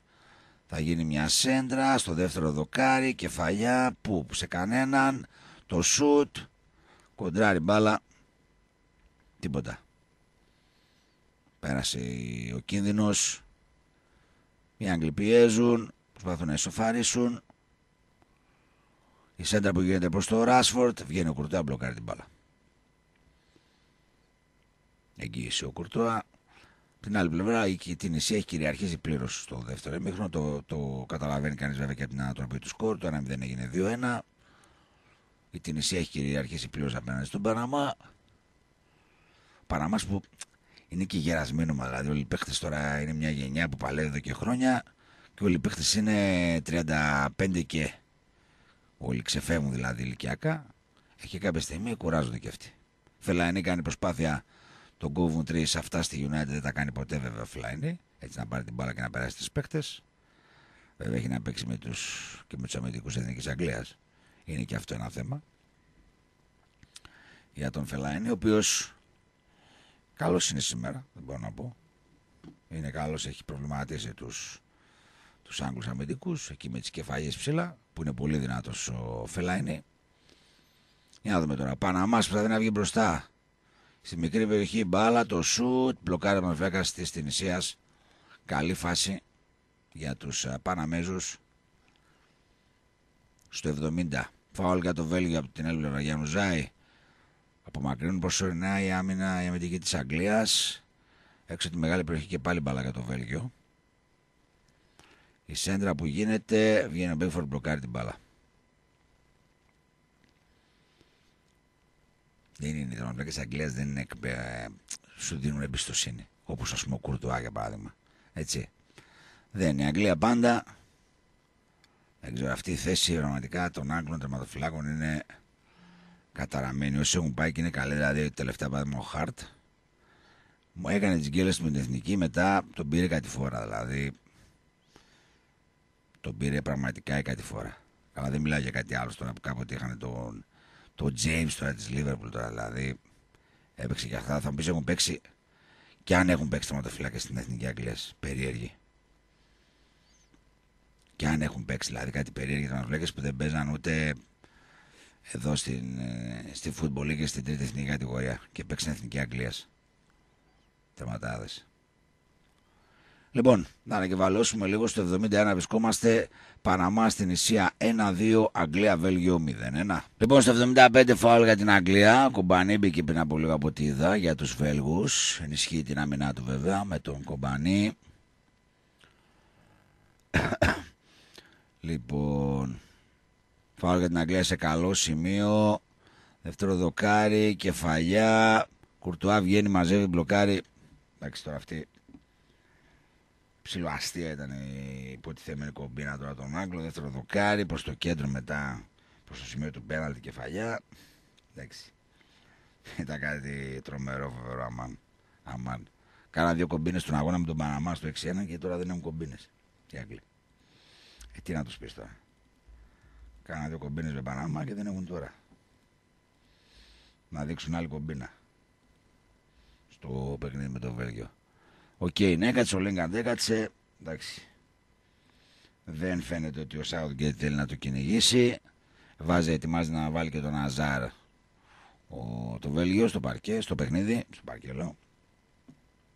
Οπότε από ό,τι φαίνεται δηλαδή μάλλον ο Άγγλος ναι μεν αλλά ας βγω και δεύτερος, δεν έχω θέμα. Να παίξω δηλαδή τώρα με την Κολομβία και μετά με τον νικητή Σουηδίας ε, Ελβετίας. Δεν φαίνεται δηλαδή να καίγεται ιδιαίτερα. Βέλμπεκ ετοιμάζει να βάλει. Ο, ο Southgate ετοιμάζει να βάλει αλλαγή τον Βέλμπεκ. Τον επιθετικό εδώ και χρόνια της Arsenal. Ναι πάνε εντάξει. Άσε με λίγο αέρα και πάνε ναι.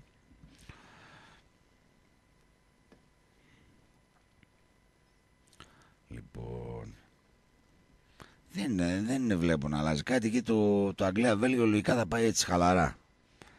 Δεν βλέπω, δηλαδή οι Άγγλοι δεν μπορούν να κάνουν κάτι. Εντάξει, κάτι στημένες φάσεις. Μία ουσιαστικά είναι η καλή φάση εκεί το τέταρτο του Ράσφορντ μετά από την κάθετη παλιά από τη, αν θυμάμαι καλά, του Ντέλφ ε, που βγήκε ο Ράσφορντ τέταρτο και το χάσε. Το Βέλγιο στο πολύ χαλαρό το πάει το μάτς. Δεν βλέπω κάτι δηλαδή. Εντάξει, το Παναμά στην Ισία, είπαμε στο δεύτερο την Ίση επέβαλαν τον ρυθμό της αναδρότητά τους. Γιατί γενικά την Ίση ήταν και καλύτερη ομάδα. Έτσι. Από τον Παναμά. Εντάξει, ο Παναμάς προηγήθηκε με ένα γκολ. Φάουλο εδώ τώρα του Ράσφορντ. Προηγήθηκε με ένα γκολ το οποίο χρεώθηκε σε αυτό γκολ γιατί εντάξει, ήταν ένα σου το οποίο άλλαξε πορεία στο σώμα του αμυντικού. Τώρα που ο Παναμάς να βγει μπροστά, να δούμε τώρα τον Παναμά. Η σέντρα που γίνεται χαμηλά βγαίνει το μαρφιάκας μπλοκάρει. Λοιπόν, αλλαγή έξω ο Αλεξάνδερ Άρνολ για την Αγγλία στο 78 μέσα ο Ντάνι Βέλμπεκ παλιός της United της Arsenal τελευταία χρόνια.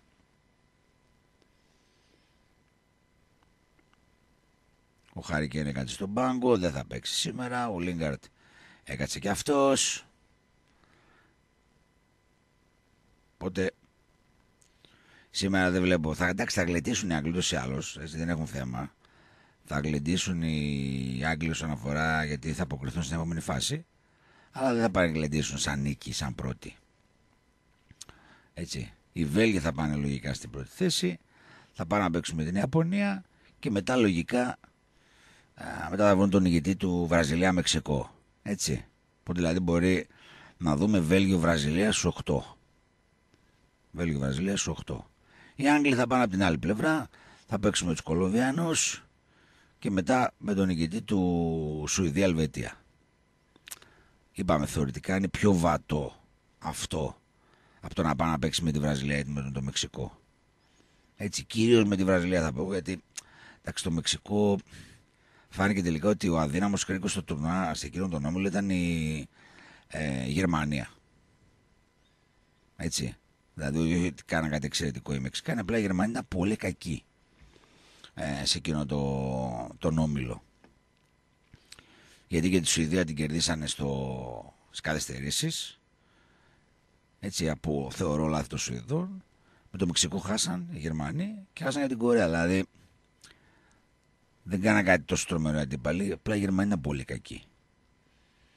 Οπότε λογικά δηλαδή καλύτερο να αποφύγεις τη Βραζιλία γιατί Ό,τι και να είναι η Βραζιλία, είναι με Νεϊμάρ και, τα, και τους υπόλοιπους. Αν και από ό,τι είδα ο Μαρσέλο έχει ένα θεματάκι τραυματισμού. Δεν ξέρω αν θα είναι έτοιμος. Για να δούμε τώρα. Φάουλ για την Αγγλία στο 80 με Ράσφορτ. Καλό σημείο από εκεί τα βαράει ο μικρός και στη United. Τα φάουλ. Ο Ράσφορτ. Σχετικά καλό. Για να δούμε. Ράσφορτ, ο Σου, την μπάλα πάνω από τα δοκάρια του Κουρτουά. Δεν ανησυχεί ιδιαίτερα ο τερματοφυλάκας uh, του Βελγίου στο 80 παραμένει το 0-1. Είχε φάλτσο, πήγε στο κέντρο της αιστείας περίπου, ψηλά όμως ο Κουρτουά έλεγε τη φάση, δεν υπήρχε θέμα. Ιδιαίτερο θεωρώ να ανησυχήσει ο τερματοφυλάκας της, uh, του Βελγίου. Στο 81 είμαστε. Στο Αγγλία-Βέλγιο uh, 0-1 το Βέλγιο δεν κάνει κάτι. Έτσι έβαλε τον γκολ και δεν κάνει κάτι ιδιαίτερο. Είπαμε στο πρώτο μήχρονο να κάνει κάποιες φάσεις. Στο δεύτερο ηρεμία. Παναμάς στην Ισία παραμένει το 1-2 εκεί για τους Τινήσιους. κόντρα στον συμπαθητικό Παναμά. Έτσι. Καλή ομάδα Παναμάς. Όσοι έχουμε παίξει προγραμματικά εκεί τότε παίζαμε εκκίνησης κέντρο α, κεντρικής Αμερικής και σχετικά εκεί τα, τα παιχνίδια που έκανε με κάτι νησιά περίεργα. Ήταν καλό σημείο ο Παναμάς. Αν δούμε μπαλιά που γίνεται τώρα. Οι Άγγλοι και πάλι στην επίθεση. Κόρνερ για την Αγγλία. Στο πέταλο που είναι μόνο οι Άγγλοι εκεί. Γενικά έχει πολλούς Άγγλους πάρα πολλούς βέβαια. Το καλό βέβαια είναι ότι τουλάχιστον δεν έχω δει πολλά κείμενα και δημοσιεύματα για επεισόδια. Πολλοί περίμεναν ότι εκεί με τους Ρώσους οι Άγγλοι, επειδή τα κάνανε στο, στο Euro, θα είναι πολύ δύσκολα τα πράγματα. Αλλά πρέπει εκεί η ρωσική αστυνομία να τα έχει καθαρίσει, λέει ο Βλαδίμηρος, τα έχει στρώσει τα κόζια. Και δεν έχει πολλά περίεργα. Έτσι, γιατί εντάξει, δεν χρειάζεται να βρεθούν τώρα οι Αγγλία με τη Ρωσία σε αγώνα. Άμα ήταν να γίνει, που λέει ο λόγος, αλλά πρέπει να είναι και η αστυνομία εκεί πολύ Έτοιμη. Ράσφορτ στο κόρνερ. Βγαίνει ο Κουρτουά, θα τη χάσει. Το σουτ, κόντρες, πόδια, κόρνερ. Την έβγαλε ο Φελαϊνί γιατί πήγαινε μέσα από το σουτ του Βέλμπεκ. Ο Κουρτουά την έχασε, από τα χέρια δεν έδιωξε καλά. Ο Βέλμπεκ το σουτ έμπαινε μέσα, ήταν γκολ.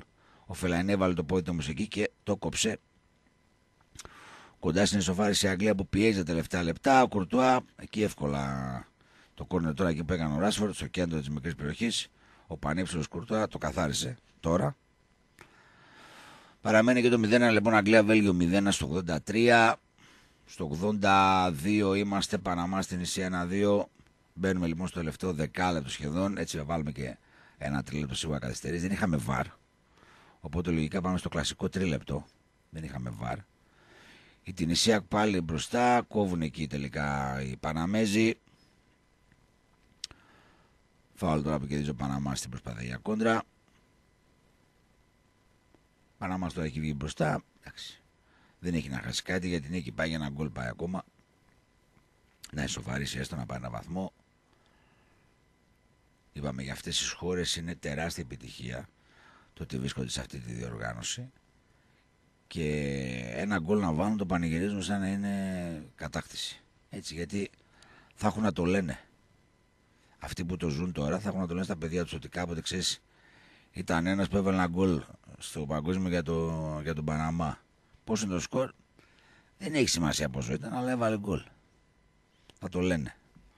Έτσι, αυτές όλες οι μικρές χώρες ομολογουμένως που εντάξει, μια φορά τις βλέπεις το τόσο. Δεν τις βλέπεις συχνά. Μια φορά στο τόσο τις βλέπεις. Η Αγγλία έχει την μπάλα, κατοχή στα τελευταία λεπτά. Λοιπόν, 85 Φτάσαμε Αγγλία-Βέλγιο 0-1, Παναμά στην Ισία 1-2.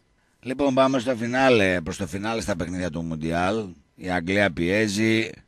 Εδώ πήγε να γίνει μια κομπίνα να πιάσουν στον ύμνο τους Βέλγους, αλλά το πλαζέ το έξυπνο του Βέλμπεκ δεν ανησύγησε ούτε εμένα.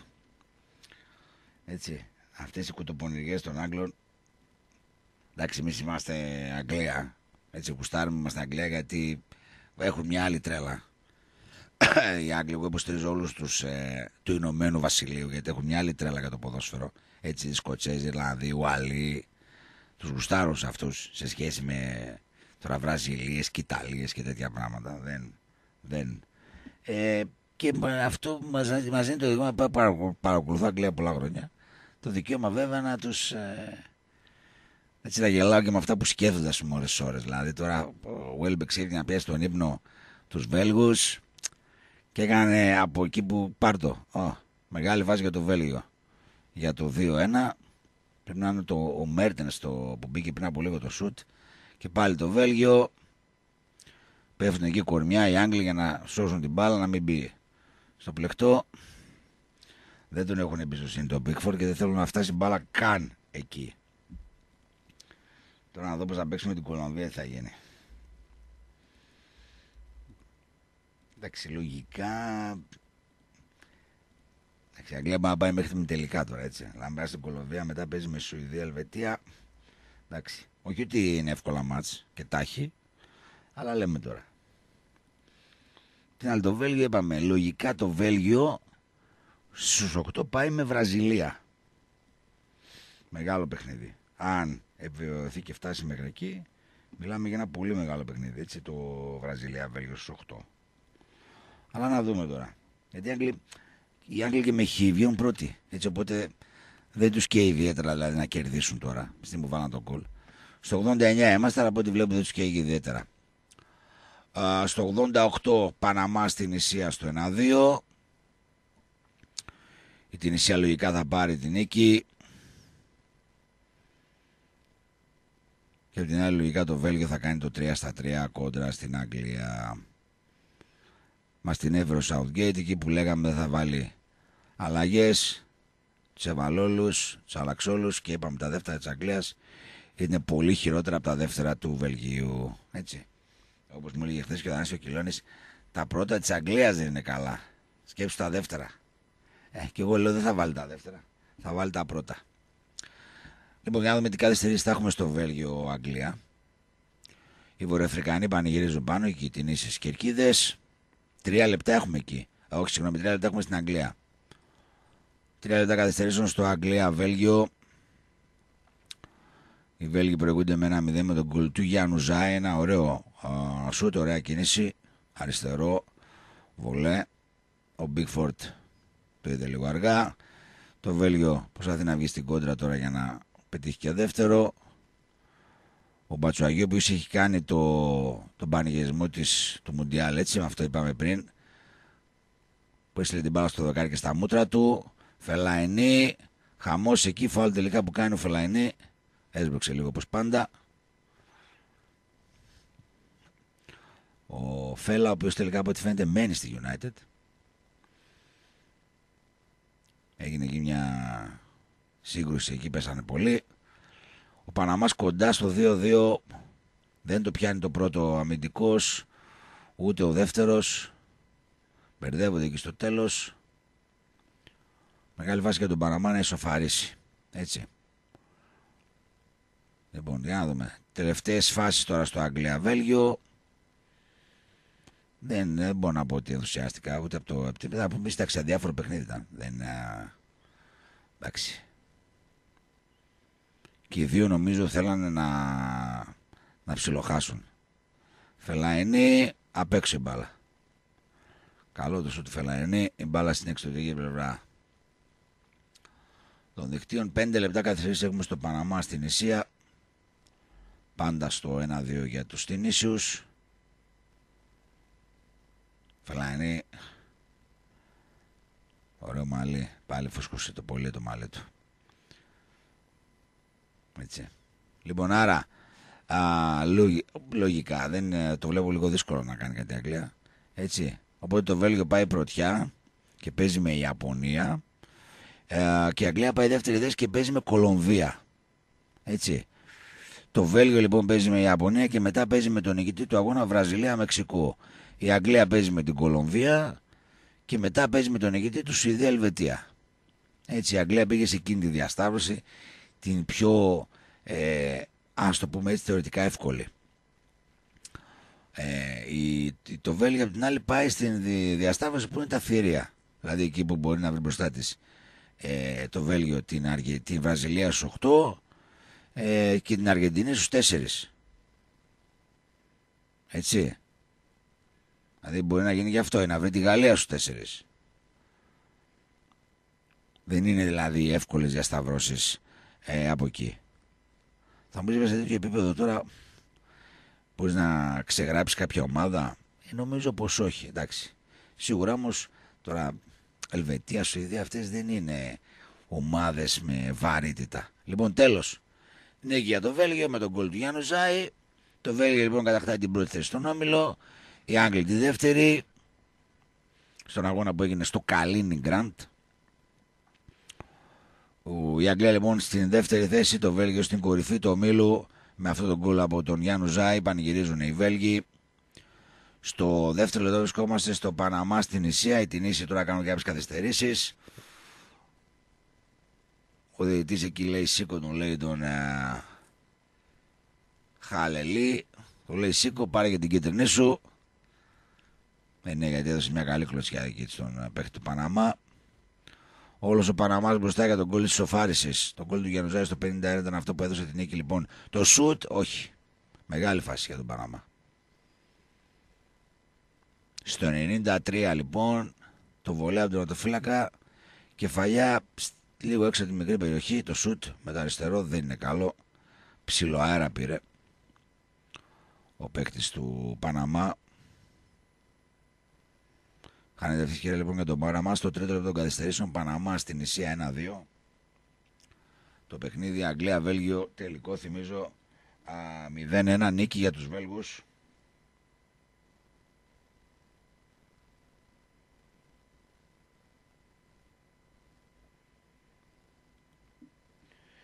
Λοιπόν, σε λίγο θα πάμε στην ε, Ολλανδία, στο Δημήτριο Τζομπατζόγλου. Να μας μεταφέρει και αυτός από εκεί τι γίνεται. Έτσι. Λοιπόν... Ε, εντάξει, σε λίγο θα μιλήσουμε λοιπόν με Ολλανδία με τον Δημήτρη Τζομπατζόγλου. Να δούμε τι γίνεται μόλις τελειώσει το Μουντιάλ. Τα νέα του Πάουκ, δηλαδή τι γίνεται. Φάουλ σε καλό σημείο για τον Παναμά. Για να δούμε. Εντάξει, δηλαδή Νεϊμάρ διαφημίζεις μέχρι και ε, κλιματιστικά. Δηλαδή κλαίω. Νεϊμάρ είσαι, εντάξει, καλά ξύγες. Καλά ξύγες, από που τα πάρεις. Έτσι δεν είναι. Καλά ξύγες, κλιματιστικά, κλιματιστικά. Ξέρω εγώ, καραμέλες, καραμέλες. Ποδήλατο, ξέρω εγώ κάτι, ό,τι θέλεις. Καλά ξύγες, Νεϊμάρ. Εδώ τους ποκεράδες θα παίρνεις. Είσαι brand name σε μεγάλη εταιρεία πόκερ. Δεν τα παίζει. Ο Νέιμαρ είναι μεγάλο σε καμπάνια εταιρείας που παίζει πόκερ. Έτσι. Που έχει λογισμικό με πόκερ, μπορείς να παίξεις πόκερ. Πρώτη εταιρεία, μεγαλύτερη εταιρεία παίζει στον κόσμο. Έχει τον Νεϊμάρ, είχε παλιά τον Κριστιανό. Νεϊμάρ τώρα έχει και ένα δάλ. Αλλά και, και Usain Bolt τελευταία πρόσφατα. Αλλά Νεϊμάρ εδώ και χρόνια γιατί είναι γνωστό ότι παίζει πόκερ ο Νεϊμάρ. Λοιπόν, για να δούμε τώρα. Φάση, τελευταίο σου, τελευταίο φάουλ για τον Παναμά στο Μουντιάλ αυτό. Για να δούμε αν θα γίνει το 2-2 για τον Παναμά. Δεν ξέρω τι έχετε παίξει, παιδιά, από την αλήθεια. Που έχει παίξει κάτι. Εγώ γουστάρω να δω το Παναμά να πανηγυρίζει τώρα στο 2-2. Έτσι. Αλλά εντάξει, τώρα αυτό είναι μια ουσιαστική μου. Εγώ δεν έπαιξα κάτι. Να πω την αλήθεια. Λοιπόν, ο Εσκομπάρα από ό,τι βλέπω εκεί. Αυτό το όνομα βάρη σαν ιστορία. Το σουτ, πιάνει το ματοφυλάκα της Τινησία, τον μπλοκάρει στο κέντρο. Πέφτει κάτι κλωτσίδια εκεί. Ο Μπαρθένας ήταν αυτός ο οποίος έκανε το φάουλ. Δεν ήταν ιδιαίτερα δύσκολο, αλήθεια είναι αυτή. Πέρασε απλά από το τείχο η μπάλα και πήγε πάνω στον τερματοφυλάκα της Τινησία. Δεν ήταν κάτι δύσκολο. Και εκεί έχουμε και κάτι μανούρες γιατί ο ένας επιθετικός εκεί του Παναμά πήγε και κλώτσε τον τερματοφυλάκα. Την μπάλα. Ναι, τώρα έχουμε νεύρα. Αυτός εδώ, ο, Τε, ο Τεχάντα είναι, αυτός ο οποίος έβαγε την κάρτα, ο Λουίς Τεχάντα, ο οποίος όταν μπλόκαρε το ματοφλάκα του, της Τινησίας πήγε και σμπροξίδια εκεί με τον, για να δούμε τη φάση πάλι, ναι, σμπροξίδια με τον ε, αμυντικό του Τινήσιο.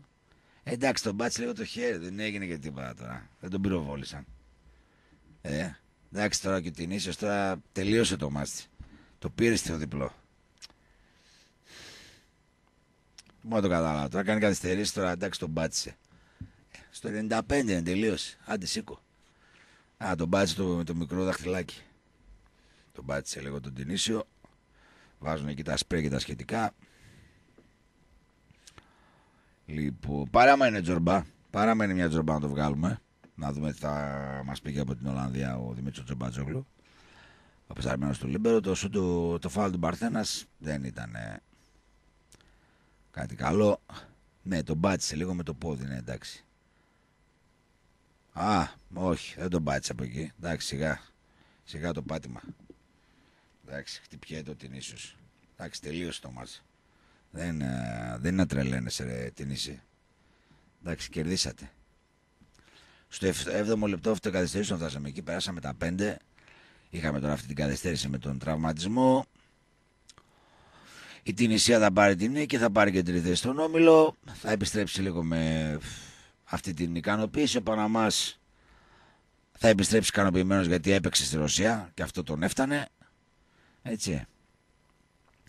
Λοιπόν, τελικό. Τέλος και εκεί, Παναμάς στην Ισία 1-2, Αγγλία, Βέλγιο 0-1, στο παιχνίδι που κανείς δεν θα κερδίσει νομίζω, αλλά απλά το Γιάννου Ζάι έβαλε τον γκολ.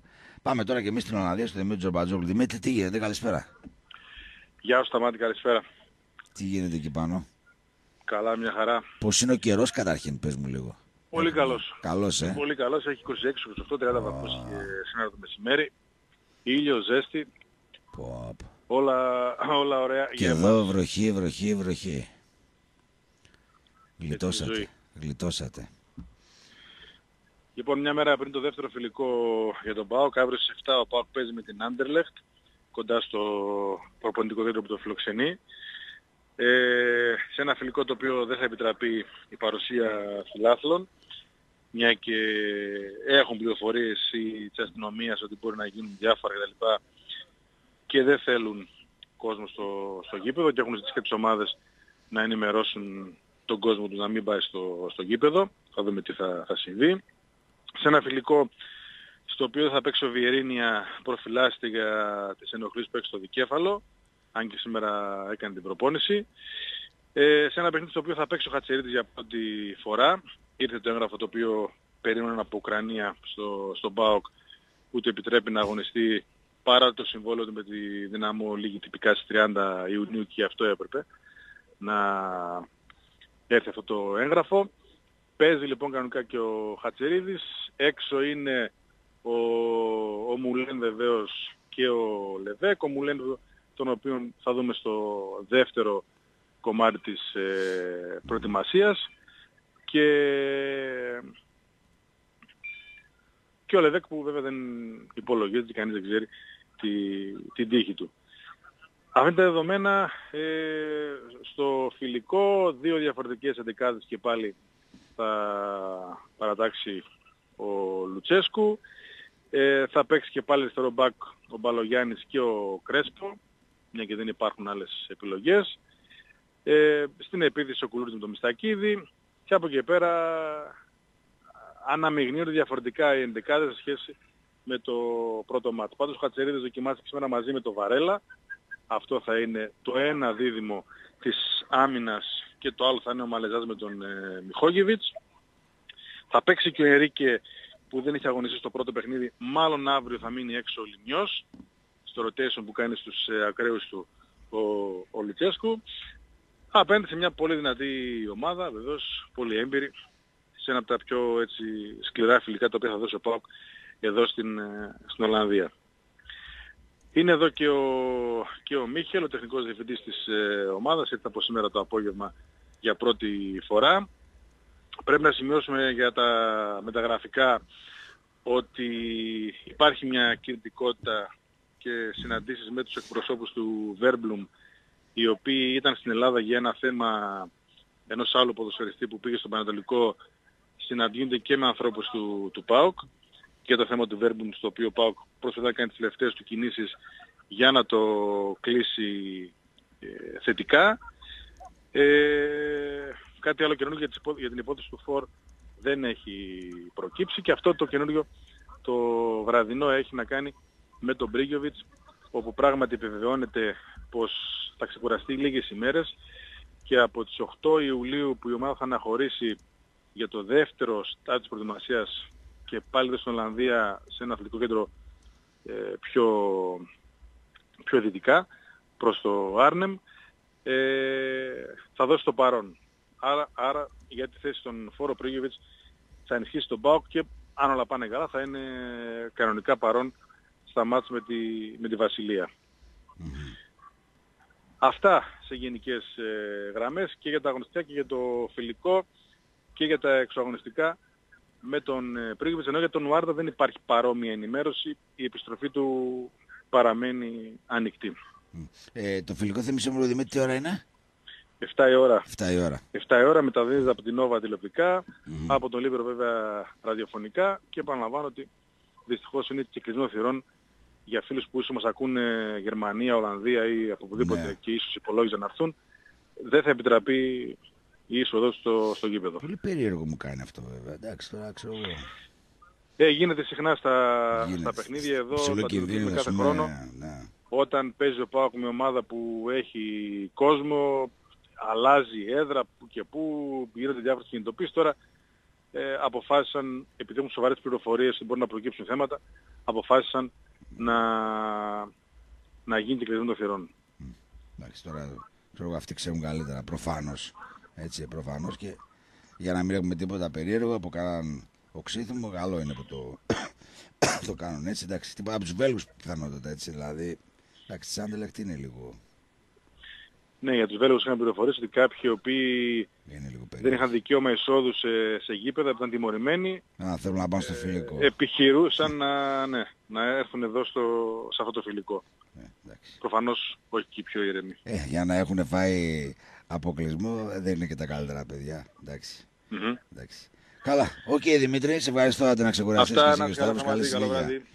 Λοιπόν και αυτός ο Δημήτρης Τζομπατζόγλου μας ενημέρωσε για τα τεκταινόμενα στον ΠΑΟΚ. Αύριο, όπως είπαμε, το φιλικό ε, για τους ε, ασπρόμαυρους. Έτσι, ένα φιλικό προετοιμασίας δυνατό κόντρα στην ε, ε, Anderlecht, ομολογουμένως. Η Anderlecht είναι Anderlecht, έτσι. Είναι μια δυνατή ομάδα. Σίγουρα μπορεί να έχει ε, διάφορες απουσίες με διεθνείς οτιδήποτε, αλλά ε, δεν πάει να είναι η Anderlecht. Έτσι, σαφέστατα. Λοιπόν, κάπου εδώ εμείς θα πάμε σε ένα διαφημιστικό διάλειμμα. Θα επιστρέψουμε σε λίγο να δούμε τι γίνεται γενικότερα, να κάνουμε μια αναφορά στο Μουντιάλ, να δούμε κάποια άλλα νέα γενικά. Ε, έχει μια μεταγραφή το βόλεϊ του γυναικείου του Άρη. Έτσι και πραγματικά παιδιά όσοι είδατε τη φωτογραφία της βολεμπολίστριας Αριανή μάλλον θα πάνε να πάρετε διαρκείας να πω την αλήθεια έτσι λοιπόν πάμε σε ένα διαφημιστικό διάλειμμα και επιστρέφουμε σε λίγα λεπτά λοιπόν εδώ Λίμπερο 107 και 4 εκτάκτως σήμερα στο πόδι του Θανάση Κιλώνη Λοιπόν, πριν πάμε στα Τουάρι και στον ε, Νίκο τον Παπαδόπουλο, ο οποίος ε, είναι στην Αλία και τη Ελληνική Γραμμή, να πω λίγο μια μεταγραφή για το βόλιο του Άρη. Αλλά νομίζω ότι μια εικόνα είναι his legs of Κινέζη, οπότε μπείτε στο labautaris.com να δείτε λίγο το σχετικό θεματάκι. Η Κριστίνα ε, Τζουρ Ρίτς είναι η νέα παίκτρια του Άρη στο βόλεϊ ε, η Τζούριτς ήταν στην ομάδα του Ερυθρού Αστέρα που πέρσι κατάλαβε τη δεύτερη θέση στο Σερβία, ένα 80, ε, γεννημένη το 1990, Πασαδόρος. Έτσι. Είναι η Κριστίνα Τζούριτς, η οποία είναι στο παίχτη του Άρη πλέον.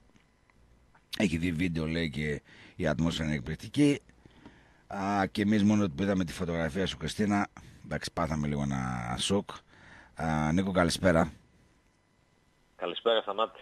Ε, Πιστεύεις ότι το πρέπει, να πάρουμε δια... πρέπει να πάρουμε διαρκεία σε Ήδη, ήδη από ό,τι βλέπω στα social media γίνεται ένας ψιλοπανικός από φίλους του Άρη α, που θέλουν να προμηθευτούν. Εντάξει, τι να κάνουμε, πέρα από την αγωνιστική αξία είναι ακόμα ένα δέλαρ το να είναι μια κοπέλα και μια έτσι όμορφη. Και η συγκεκριμένη σελίδα είναι πολύ όμορφη. Είναι πολύ ε. όμορφη.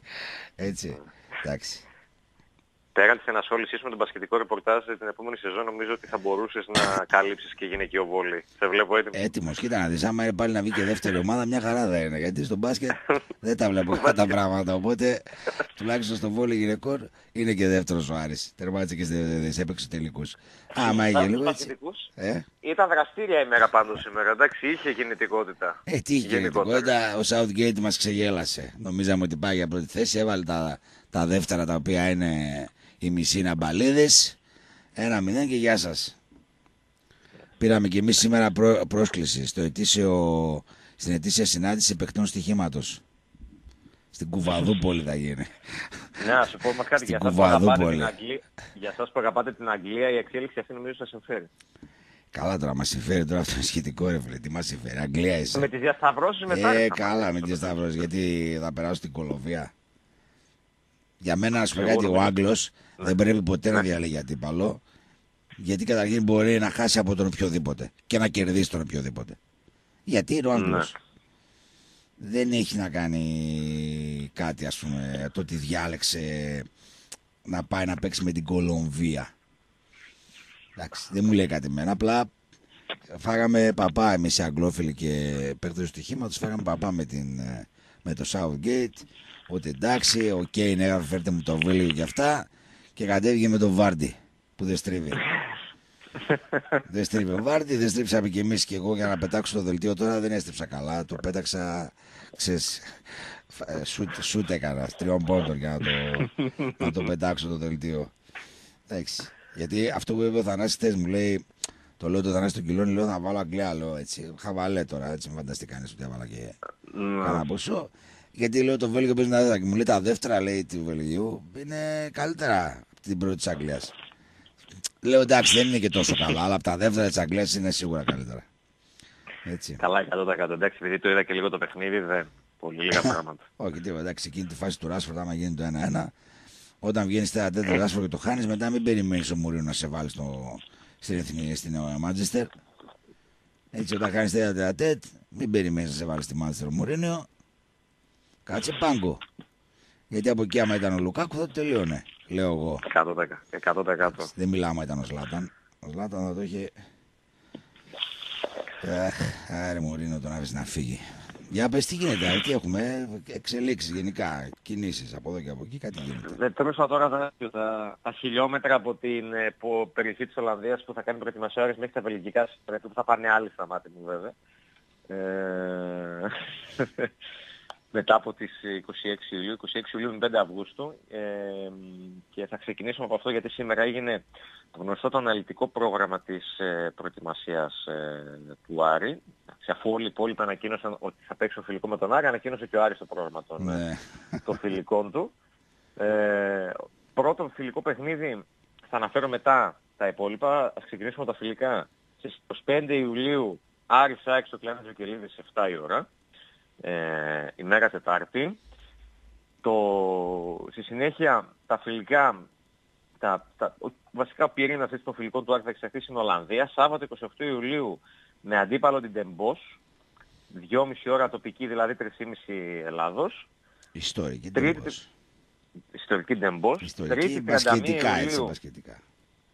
Ελά. Ιστορική λέω μπασκετικά, έχει, πέ- έχει παίξει με Ναι. τον Άρη μπασκετικά και έχει μεγάλο παιχνίδι. ναι. Εσείς οι παλιοί τα θυμάστε. Ναι, ναι. Τρίτη 31 Ιουλίου με αντίπαλο την Γκράσαφ, 7 η ώρα τοπική Ολλανδίας, 8 Ελλάδος. Παρασκευή 3 Αυγούστου με την Ντεχάγκ, 8,5 ώρα Ελλάδος. Και τελευταίο φιλικό επιλανδικού εδάφου Σάββατο 4 Αυγούστου με αντίπαλο τη Βίλεμ, 2,5 ώρα Ελλάδος. Με τη 2,5 συνέχεια ώρα. Ο Άρης, Πω. 2,5 ώρα Ελλάδος, ναι. Νωρίς νωρίς εκείνο. Ε, μια μέρα μετά η ομάδα επιστρέφει στη Θεσσαλονίκη. Τετάρτη 8 Αυγούστου, φιλικό εκτός έδρας με τη Λάρισα στο Αλκαζάρ, ε, στην Έλευση Αρίνα. Ε, που συνήθεια. Ναι, μπερδεύτηκες. 8 ώρα το βράδυ. Σάββατο 11 του ίδιου μήνα, ε, νέο φιλικό με την ΑΕΛ. Στο Βικελίδης όμως 8 ώρα το βράδυ. Και η πρόβα Τζενεράλε για τον Άρη πριν τη Σέντρα, την πρώτη Σέντρα της Με την Σέντρας, θα ΑΕΛ. γίνει το Σάββατο 18 Αυγούστου με τον Μπας Γιάννενα ε, στο κλάν της Βικελίδης, 8 η ώρα. Α, Νόμιζα θα λέξει πάλι με την ΑΕΛ. Όχι, εντάξει, φτάνει. Μάλιστα ε, στην ανακοίνωση της ΙΠΑΕ το δεύτερο παιχνίδι με τους Θεσσαλούς το χαρακτηρίζει ως φιλική ρεβάνς. Λοιπόν, αυτά όσον αφορά τα φιλικά. Ε, ε, η προετοιμασία ξεκινάει στις 4 του, του Ιούλη, δηλαδή την ερχόμενη Τετάρτη. Δευτέρα και Τρίτη, 2 και 3 του μήνα θα γίνουν οι εργομετρικές ιατρικές εξετάσεις. Ο Άρης θα αναχωρήσει 9 Ιουλίου για τα 3-5 πηγάδια της ε, Νάουσας, όπου και θα παραμείνει μέχρι τις 21 ε, του ίδιου μήνα για να πραγματοποιήσει το βασικό στάδιο της προετοιμασίας του. Ε, εντάξει, ο Ερέρα στην Άουσα θα δώσει περισσότερη έμφαση στο κομμάτι της φυσικής κατάστασης με πολύ ενεργό το ρόλο και του γυμναστή που επέλεξε και έφερε στη Θεσσαλονίκη του συμπατριώτη του Τέλμοντε Αντρές.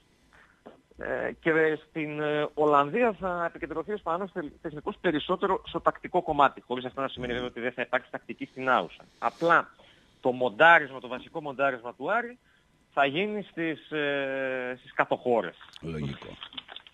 Λογικό. Και όλας μαζί και με τα φιλικά που θα δώσει η ομάδα εκείνο το διάστημα. Τώρα το ποιοι θα είναι στην πρώτη της ερχόμενης Τετάρτης ε, και ποιοι δεν θα είναι ακόμα με σιγουριά δεν μπορούμε να το πούμε. Για κάποιους εντάξει, υπάρχει μια σιγουριά, για τους περισσότερους όμως δεν μπορείς να παρουσιάσεις κάτι ως δεδομένο γιατί ακόμα πέραν του την κοινή άλλη μεταγραφή δεν έχει γίνει. Πέραν του Σόουζα και του Τζανακάκη άλλο ένα νέο συμβολέου δεν έχει ανακοινωθεί. Ε, άρα και εμείς και ο κόσμος φυσικά είμαστε σε μια ε, φάση αναμονής περιμένοντας τις επόμενες ημέρες να αρχίσει να ξεκαθαρίζει το τοπίο και νομίζω ότι με την έλευση του, του Ντίνου Γιαμαντόπουλου στην ομάδα, ο οποίος ε, βρίσκεται σε συνεχείς επαφές και συζητήσεις με τον Πάκο Ερέρα, ε, νομίζω ότι μέχρι την Κυριακή το αργότερο Δευτέρα θα έχει δρομολογηθεί το μεγαλύτερο μέρος των ανανεώσεων και θα έχουμε ξεκάθαρη εικόνα και για τα συμβόλαια που λήγουν, ποιοι συνεχίζουν και ναι. ποιοι όχι, όπως θα έχουμε νομίζω ξεκάθαρη εικόνα και για κάποιες περιπτώσεις παικτών που έχουν συμβόλαιο για την επόμενη σεζόν, ενδεχομένως όμως να μην υπολογίζονται από τον Ερέρα. Και θα πρέπει ο Άρης να μπει σε μια δικασία, αν υπάρξουν τέτοιες περιπτώσεις, να σπάσει συμβόλαια. Για τις μεταγραφές αυτό το οποίο βγαίνει από τον Άρη ε, είναι ότι δεν βιαζόμαστε, δεν αγχωνόμαστε, ε, υπάρχει ακόμα χρόνος.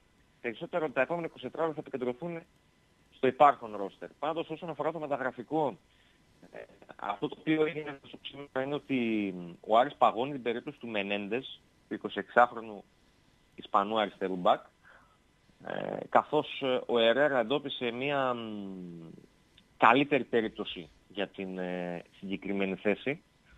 Ε, δύσκολο νομίζω να προχωρήσει και του Μενέντες γιατί γενικότερα και στον Άρη υπάρχει μια δυσαρέσκεια της, ε, εδώ και περίπου μια εβδομάδα με τον Ισπανό και το μάνατζερ του γιατί κάθε μέρα βγάζει όλο και κάτι καινούριο και αποδείχθηκε πολύ δύσκολος γενικότερα στις διαπραγματεύσεις και σε του, του συμβολέου. Ε, για τον Σέρο ο Άρης είναι πάνω από παρόμοια κατάσταση και εκεί με τη μόνη διαφορά ότι ο Άρης δεν έχει παγώσει την περίπτωσή του, θέλει να φέρει τον ποδοσφαιριστή, απλά έχει δώσει ένα τελεσίγραφο στην πλευρά του Αργεντινού μέσου ε, πρόσωπό του, ο οποίος ε, αλλάζει συνεχώς τους όρους του, του συμβολέου, του παίχτη και το τελεσίγραφο είναι μέχρι αύριο. Αν εντός της αυριανής ημέρας δεν δεχτεί ο παίχτης ε, αυτά που του έχει προτείνει ο Άρης, τότε θα την αφήσει στην άκρη αυτή την περίπτωση ο Ερέρα και θα στραφεί σε άλλες αναλλακτικές για το, για το χώρο του κέντρου. Εντάξει, νομίζω να σου πει κάτι καλά κάνει. Δεν μπορείς, ε, γάμος να λέει παρακαλώ, δεν γίνεται. Άμα ε, δεν θέλεις, ναι. γεια σου. Θα βρει κάποιον άλλον. Ναι. Δεν είναι ότι είναι μοναδικός, θα βρει κάποιον άλλον. Δεν υπάρχει θέμα. Δύο παίκτες που πάρει στους έδινους τελειωμένους ε, την προηγούμενη Παρασκευή, αλλά και όπως τουλάχιστον λέγανε από την ΠαΕ, πρέπει να ρυθμιστούν κάποια τελευταία διαδικαστικά για τα συμβόλαιά τους και να σταλούν αυτά υπογεγραμμένα στην, στην Αλλά στην πορεία φαίνεται ότι προέκυψαν προβλήματα και ε, έτσι κάποια, κάποιες δυσκολίες κυρίως από τους ε, από την πλευρά των ποδοσφαιριστών και όχι από την πλευρά του Άρη που συνεχώς αλλάζουν τους όρους στα συμβόλαια τους. Δηλαδή το Μενέντες η διαφορά με το Σέρο το είπα και πριν ότι ο Άρης εντόπισε μια καλύτερη περίπτωση για τη συγκεκριμένη θέση. Ε, κάτι άλλο μεταγραφικά δεν υπάρχει. Ε, ε, για τις περιπτώσεις εντός Ελλάδος νομίζω ότι μέσα σε επόμενα 24 ώρα θα, θα ολοκληρωθεί και το Νασλίδη ε, για τον οποίο ο Ερέρα έχει ανάψει το πράσινο φως. Ε, γίνονται κάποιες επαφές ε, όσον αφορά το κομμάτι των ανανεώσεων. Ξαναλέμε ακόμα δεν έχουμε ακόμα κάτι διαφορετικό και κάτι νεότερο. Θα περιμένω να δούμε τι θα γίνει αύριο και με τον, ε, και με τον Σέρο. Ο Ντιγκινή είναι στην Αθήνα ε, για να τακτοποιήσει κάποιες προσωπικές του υποθέσεις, να μαζέψει και τα πράγματά του και να έρθει από Δευτέρα για μόνιμη εγκατάσταση στην ε, Θεσσαλονίκη. Την Κυριακή έρχεται και ο Αναγνωστόπουλος από την Αθήνα. Ε, περιμένουμε και το Σόουζα στην, να επιστρέψει στην Ελλάδα από το Πόρτο που βρίσκεται τις τελευταίες ημέρες. Ε, στο δρόμο της επιστροφής είναι και ο Ντάτσι Νέτο, που ξεκίνησε σήμερα το μεσημέρι ε, από τη Βραζιλία όπου παρέμεινε για περίπου ένα μήνα οικογενειακός για να δει και λίγο τους δικούς του ε, για να επιστρέψει στην ε, Θεσσαλονίκη μαζί με τη σύζυγό του και το, και το παιδί τους. Θα περιμένουμε να δούμε τι θα γίνει και με τον Βραζιλιάνο, αν και δεν ξέρω κατά πόσο ε, θα έχει κάποιο ρόλο στον, ε, στον Άρη της νέας σεζόν ο Παλέμαχος πλέον της ομάδας. Νομίζω ότι με την ε, επιστροφή του στη Θεσσαλονίκη θα ξεκαθαρίσει και αυτό το κομμάτι. Αν και τουλάχιστον αυτό που γνωρίζω εγώ είναι ότι δύσκολα θα γίνει κάτι τέτοιο. Δεν το αποκλείω όμως γιατί στον Άρη ε, τα πάντα φτάσουν από μια στιγμή στην άλλη. Άρα θα πρέπει να κρατήσουμε ανοιχτό αυτό το θέμα με τον, ε, με τον έτο. Ωραία. Έχει κάτι άλλο γενικά από το κάτι άλλο, έχει μεταγραφικά μας τα επεισόδια; Δεν προκύπτει, δεν προκύπτει κάτι άλλο. Είπαμε για την προετοιμασία, είπαμε για τα, για τα φιλικά. Εντάξει, για την προετοιμασία αυτό που παρέλειψα να πω νωρίτερα είναι βέβαια λίγο πολύ γνωστό ότι η πρώτη του δεν θα γίνει ούτε στο Δικελίδης ούτε στο Ρήσιο. Ε, θα γίνει σε προπονητικό κέντρο εκτός της Θεσσαλονίκης, προς Ανατολικά. Mm, περίεργο και θα ανακοινωθεί μέσα σε επόμενες μέρες και να, αυτό είναι λίγο διαφορετικό. Η ομάδα θα προπονηθεί ναι. εκεί δηλαδή την Τετάρτη, την Πέμπτη, την Παρασκευή και το Σάββατο. Κυριακή θα υπάρχει ένα ρεπό την μεθεπόμενη Κυριακή και Δευτέρα θα αναχωρήσει για την Άουσο. Αυτό γίνεται προφανώς γιατί από όσο γνωρίζω με τα Λίγα το, και το Ρήσο και στο Χαριλάο και στο Ρήσο γίνονται πράγματα έτσι δηλαδή γίνονται κάποιες εργασίες. Ναι εντάξει. Στο Βικελίδης σε καμία περίπτωση ναι, εντάξει, δεν μπορεί είναι... να μπει γιατί είναι ακόμα χώμα. Ε, τώρα γίνονται οι να μπουν τα αντιστραγγιστικά, να μπουν τα ποτιστικά και μετά να μπει ο νέος στο Ρήσιο η εργασία σιγά σιγά μπαίνουν στην τελική του ευθεία. όταν θα γυρίσει η ομάδα από την Νάουσα θα το βρει έτοιμο. Mm-hmm. Για δύο-τρεις προπονήσεις και μετά θα χωρίσει για την Ολλανδία. Ολα... Ολλανδία πότε φεύγει ξαναπέ λίγο γιατί σε χάσαμε τώρα. 26 Ιουλίου. 26 Λίγες ώρες μετά το φιλικό με την ΑΕΚ. Αχα, φεύγει η Ολλανδία. Εντάξει, μια χαρά θα περάσετε στην Ολλανδία. Θα περάσουν ναι. Θα περάσουν ναι. Εντάξει, μια χαρά θα περάσουν ναι. Στην θα περάσουν, ναι. Στα μάτι μου. Εμείς εδώ είμαστε δυο μας εδώ πέρα. Χαρά, Θα πω και εγώ τώρα Αγγέλου να κάνει προετοιμασία στο... Πού να κάνει προετοιμασία, στην Ισπανία. Να πάω μια Ισπανία θέλω. Νομίζω φίλε ότι το Πράβετς είναι πολύ ωραίο. Ναι, ναι. Το Πράβετς είναι πολύ ωραίο. Πολύ ωραίο είναι το Πράβετς. Μ' αρέσει πάρα πολύ. Μπορεί να μην έχει να κάνεις τίποτα γύρω-γύρω. Ο, κοίτα, έχει να, κάνει πολλά, έχεις να κάνεις πάρα πολλά στο, στο ξενοδοχείο. Στο ξενοδοχείο. Ε, άμα θες μπορείς να τραβηχτείς και καμιά σόφια. Δεν είναι και...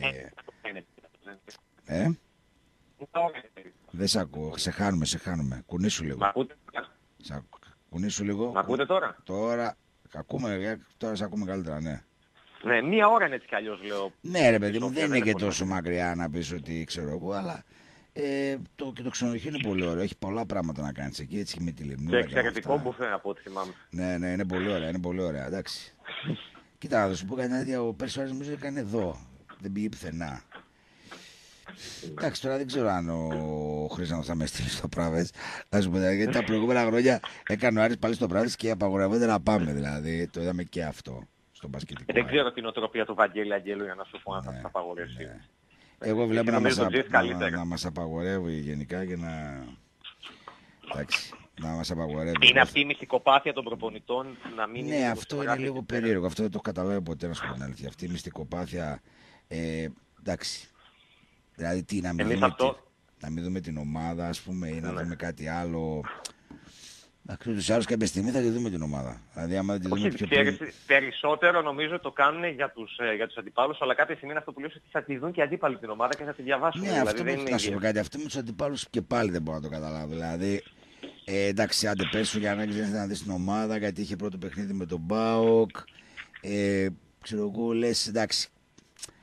Δηλαδή, και οι δύο ομάδες είναι άγνωστες. Δηλαδή, ε, άμα δω εγώ την ομάδα και γράψω ή πω κάτι ε, θα μ' ακούσει ας πούμε ο Παπαθεοδόρου και θα έλεγε α το αυτό ας πούμε ξέρετε ότι και να γράψει και να πει δημοσιογράφος ναι. ο προπονητής μιας άλλης ομάδας που θέλει να τσεκάρει ας πούμε την ομάδα αν δεν τη δει από μόνος ναι. του δεν πρόκειται να πάρεις ε, εμένα έτσι όσο, όσο πας και ξανασερβίσεις ένας όπως ξανά να πει α, το έγραψε αυτός άρα πρέπει να προσέξουμε τον τάδε ας πούμε γιατί ε, εγώ νομίζω εγώ... κυρίως οι προπονητές το κάνουν ναι. αυτό γιατί ε, θέλουν να εξαλείψουν, αν θέλεις, το γεγονός ότι αν δεις κάτι στραβό στην προετοιμασία, να το πεις. Έτσι, κατάλαβες. Δηλαδή, ναι. πολλοί προπονητές, εγώ θεωρώ ότι το φοβούνται αυτό.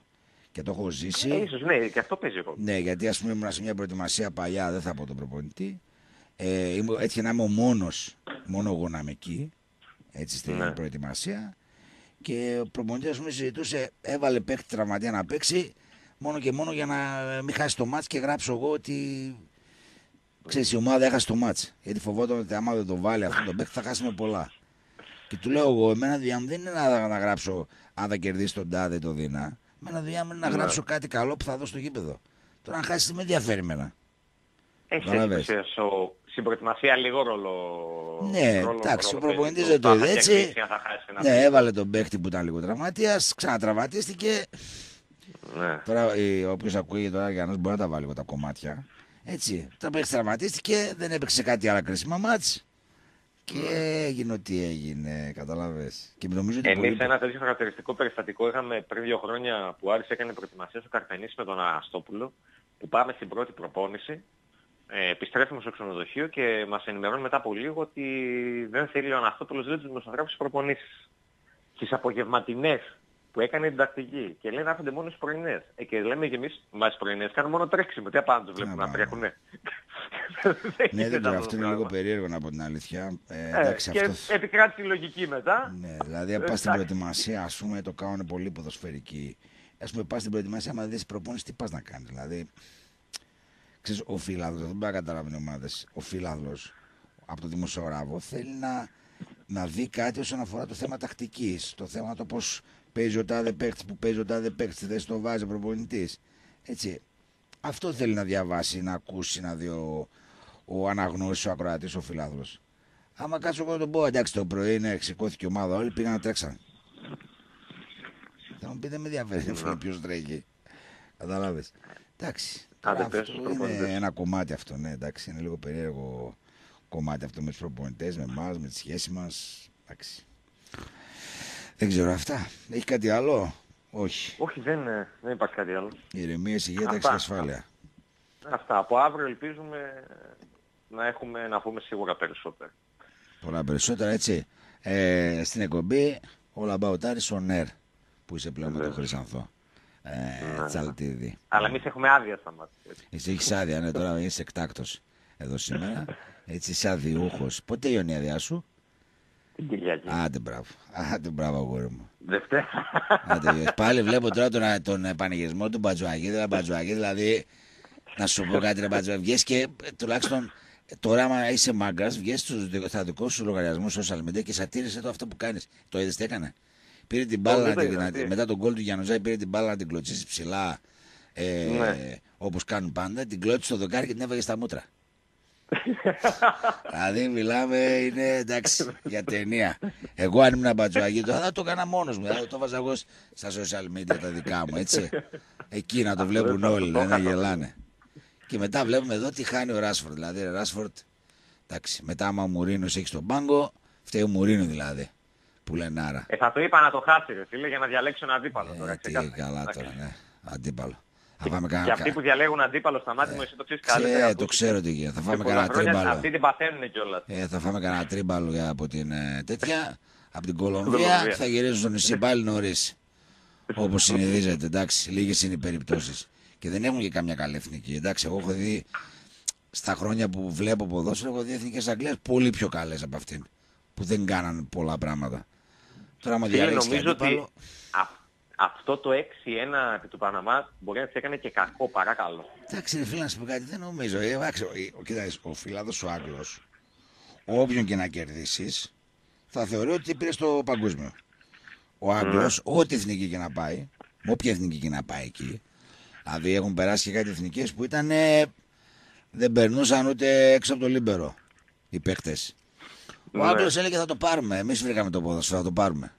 Είναι αυτή η λογική τους. Κατάλαβε. Ότι εμείς βρήκαμε το ποδόσφαιρο, είμαστε καλύτεροι από εσά. Θα το πάρουμε ο, ο τύπος αυτά πάντα πιστεύει πολλά. Εντάξει, τώρα μετά το 6-1 μπορεί κάποιοι να πανηγυρίζουν λες και κερδίσαν την ε, τέτοια. Ε, νομίζω σήμερα προσγειωθήκανε καλά. Γιατί εντάξει, δεν έκανε και κάτι. Πραγματικότητα, ναι. Εντάξει, έχουν το άλλο νομίζω ότι μπήκαν τα δεύτερα ας πούμε, σήμερα, αλλά και, και το Καλά, Βέλγιο τα Το Βέλγιο δεύτερα. τα δεύτερα έβαλε τώρα, εντάξει. Είναι αυτό που σου είπα, δηλαδή γενικά οι Άγγλοι, παιδί μου, έχουν κάποιες θέσεις νευραλγικές που έχουν τρομερές αποσύσεις. Δηλαδή, ότι οι τερματοφύλακες οι τρεις φάγανε πέρσι 185 γκολ. Και οι τρεις. Στις ομάδες Ναι. τους. Φάγανε 185 γκολ, δηλαδή είναι 60 γκολ ο τερματάς. Πολύ, Κατάλαβες, πολύ είναι πράγμα. σχεδόν ένα γκολ το μάτς. Ναι. Ε, εντάξει τώρα. Ο Κουρτό, ας πούμε, έχει φάει 60 γκολ σε τρία χρόνια. Σε δύο χρόνια. Ναι, κατάλαβες δηλαδή. Και δεν, δεν, δεν βλέπεις να δουλεύουν. Εντάξει, τι να πω, ξέρω εγώ. Δηλαδή, εμεί Εντάξει, Αγγλία θα εντάξει, είμαστε πάλι ούτω ή άλλω είμαστε ρομαντικοί, γι' αυτό είμαστε Αγγλία. Για να είσαι Αγγλία πρέπει να είσαι ρομαντικός, να ξέρεις. Επίσης είμαστε Αγγλία, η ρομαντική του ποδοσφαίρου. Άμα θες να είσαι, ξέρω εγώ, μόδα, είσαι Αργεντινή. Άμα Ναι. θε να είσαι ορθολογιστής, ρεαλιστής, είσαι Ιταλός ή Γερμανός, ξέρω εγώ που.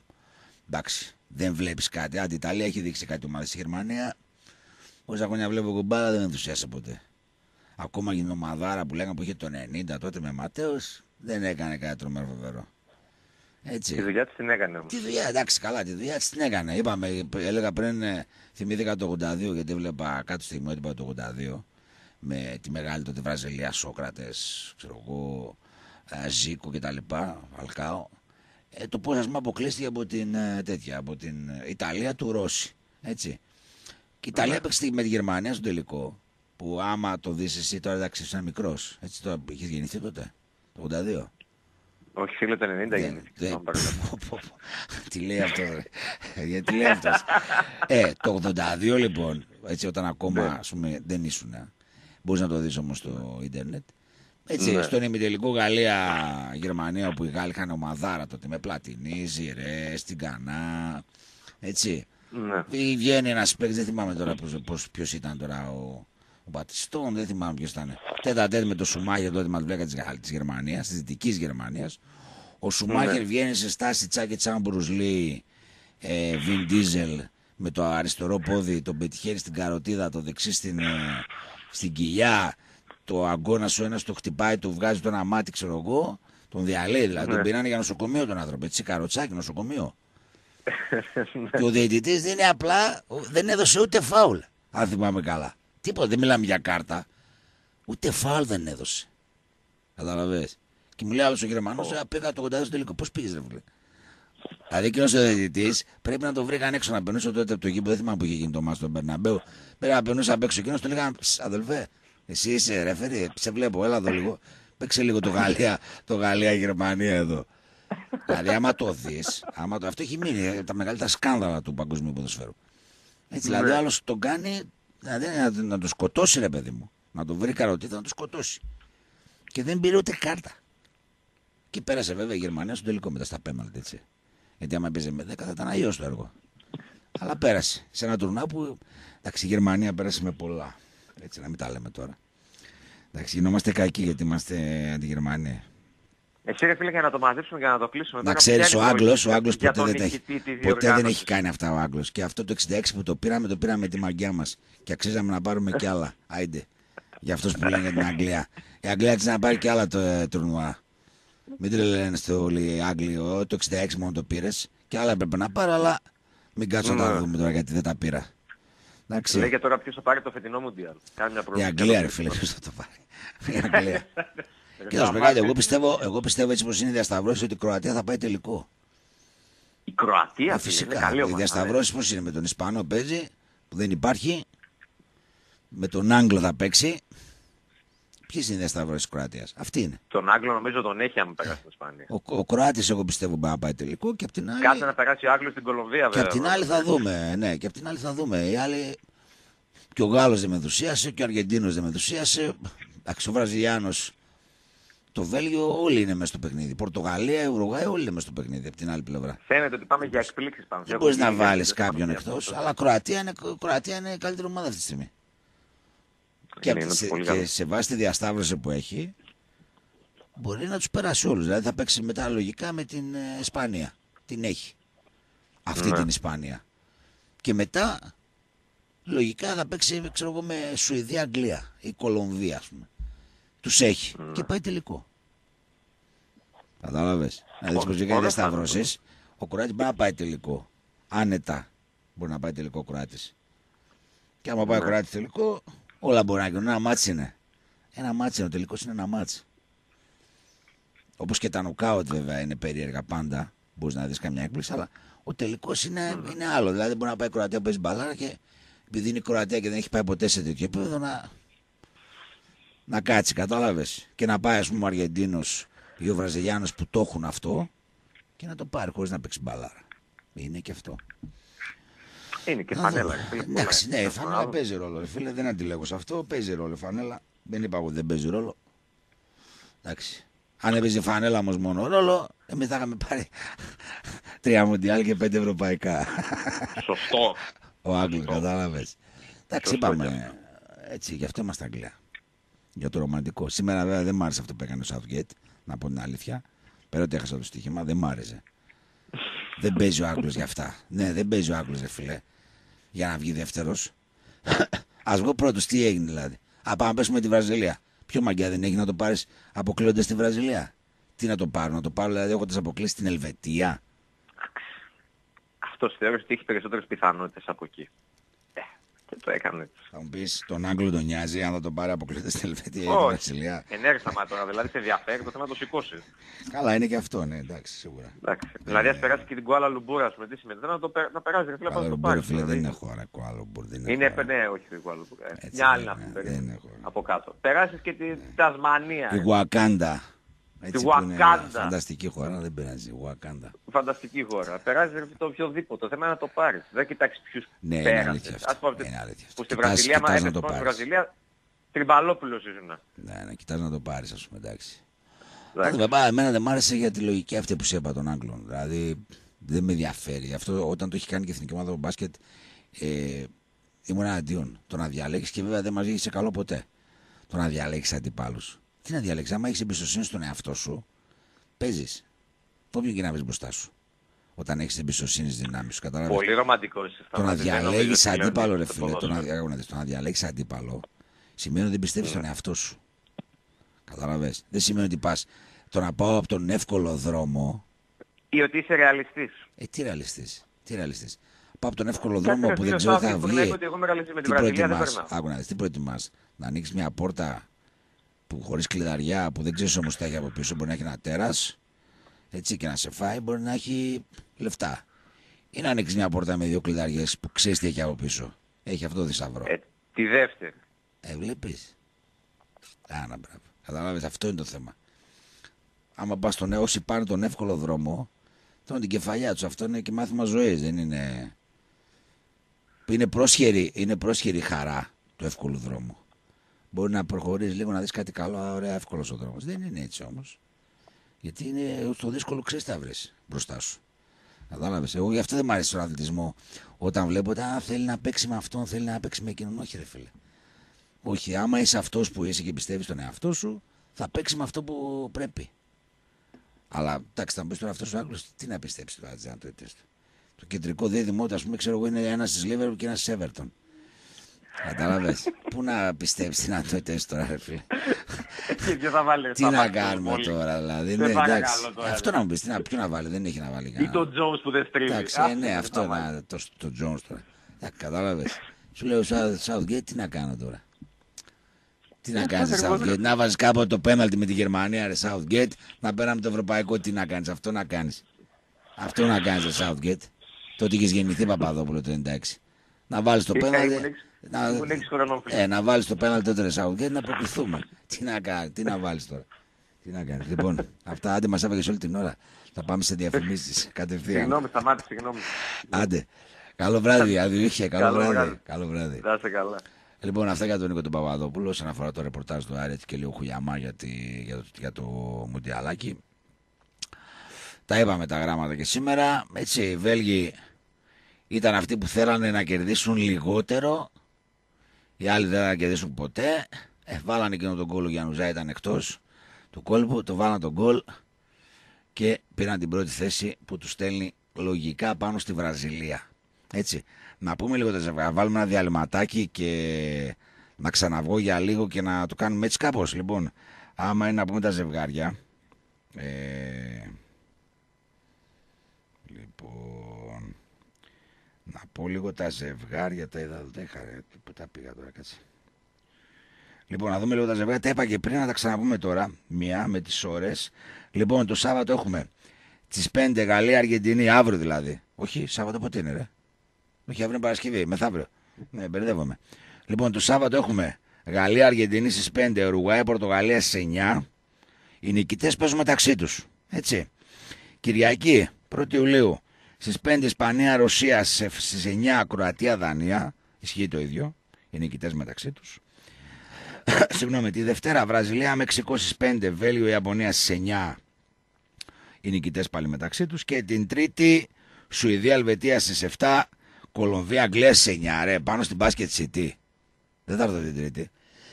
το λέω από τώρα, 3, 3 Ιουλίου, Μοσχοβίτη, άμα ακούς δεν θα έρθω. 9 η ώρα παίζουμε με την Κολομβία. Δεν έχει Basket City. Τηλεφωνικά θα βγω. Δεν έχει να πάμε εκεί σε μια πάπ να πούμε τις μπύρες μας να περιμένουμε την Αγγλία να κάνει το, την νίκη με την Κολομβία. Στις 9 λοιπόν το παιχνίδι αυτό οι νικητές μεταξύ τους. Έτσι δηλαδή βλέπω Αγγλία-Σουηδία να σου πω την αλήθεια. Ε, λοιπόν αυτές είναι τα ζευγάρια και οι διασταυρώσεις. Μετά εντάξει μετά έχουμε και βλέπουμε και λέμε. Έτσι, δηλαδή μπορεί να έχουμε λογικά έναν ημιτελικό Αργεντινή-Βραζιλία. Και απ' την άλλη να έχουμε Κροατία-Αγγλία, ας πούμε. Να είναι οι δύο ημιτελικοί. Έτσι, αυτές είναι οι διασταυρώσεις. Για το παγκόσμιο κύπελο. Τελείωσε η φάση των ομίλων. Α, είμαστε στη φάση του 16. Έτσι. Λοιπόν, πάμε σε ένα μικρό διαβεστικό διάλειμμα και επιστρέφουμε σε λίγο για να κλείσουμε την εκπομπή. Λοιπόν, α, εδώ είμαστε πριν κλείσουμε να βάσω το μήνυμα του φίλου του Πέτρου. Καλό βράδυ, λέει Σταμάτη. Πάμε δυνατά για τελικό. Μια χαρά σήμερα, αν και το παίξοφιλο Χ. Το σχεδίασε ο Southgate, λέει ξεκουράζει την ομάδα. Την έχει την Κολομβία και τις άλλες μέχρι τον τελικό. Μακάρι, φίλε Πίτερ. Λίβερπουλ από το καυτό Δουβλίνου Ιρλανδία 32 στο Βουκουρέστι δεν ήσουν εσύ, ρε. Εσύ στο Βουκουρέστι σου, ρε. Τώρα πήγες στο Δουβλίνο. Μια χαρά είναι το Δουβλίνο. Να ξέρεις, σούπερ Έχω πάει κι εγώ. Το ξέρεις βέβαια γιατί είσαι εκεί. Μια χαρά είναι σούπερ. Και η Ιρλανδία είναι πρώτα λάνια. Οι Ιρλανδοί τους γουστάρω πολύ. Όπως λένε αυτοί είναι οι Έλληνες του Βορρά. Έτσι λένε. Ότι είναι οι Έλληνες του Βορρά και εμείς οι Ιρλανδοί του Νότου. Τα παλικάρια εκεί. Ο Θανάσης ε, λογικά θα επιστρέψει αύριο. Έτσι. Θα είναι εδώ. Γιατί δεν κάνετε ντουέτο, λέει νωρίς το, το 8-10, λέει ο φίλος. ντουέτο με το Θανάση. Εντάξει. Κάποτε κάναμε ντουέτο με το Θανάση. Τώρα Θανάση είναι στα, στα δικά του, εγώ στα δικά μου. Έτσι. Μπορεί τώρα Μουντιάλ να κάτσει με καμιά κομπή, να κάτσω εγώ. Θα δω τώρα την Τρίτη, αν δεν έρθω τότε που παίζει Αγγλία, θα κάτσω σίγουρα με το Θανάση εδώ μετά. Λοιπόν, σχεδιασμού με τον Πέτρο από το καυτό Δουβλίνο των 32 βαθμών. Εδώ είμαστε για να μας κλείνει οι ρέγγε με τις θερμοκρασίες και τις βροχές. Έχουμε σαπίσει με τις βροχές. Έτσι, ειδικά εμείς που πάμε τα σκυλιά μας βόλτα, έχουμε σαπίσει πραγματικά. Λοιπόν, κάπου εδώ έφτασε στο τέλος η σημερινή έκτακτη εκπομπή Come on England. Θα έχουμε μια άλλη αν την επόμενη ε, Τρίτη. Έτσι, που δεν ήταν Come on England, ήταν να είχαμε να λέγαμε για την ε, Αγγλία που έχασε από το Βέλγιο. Λοιπόν, ε, εγώ κάπου εδώ θα σας αποχαιρετήσω. Είμαστε μαζί από τις 8 μπάσκετ και μετά έτσι στον πόδι θα στο κιλόνι.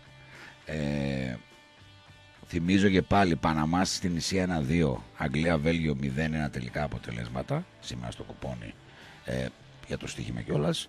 Έτσι η εθνική ομάδα στον μπάζι κέρδισε 96-78 μέσα στο Ισραήλ περίπατος. 5 στα 5 έχει η εθνική μας ομάδα α, στο μπάσκετ.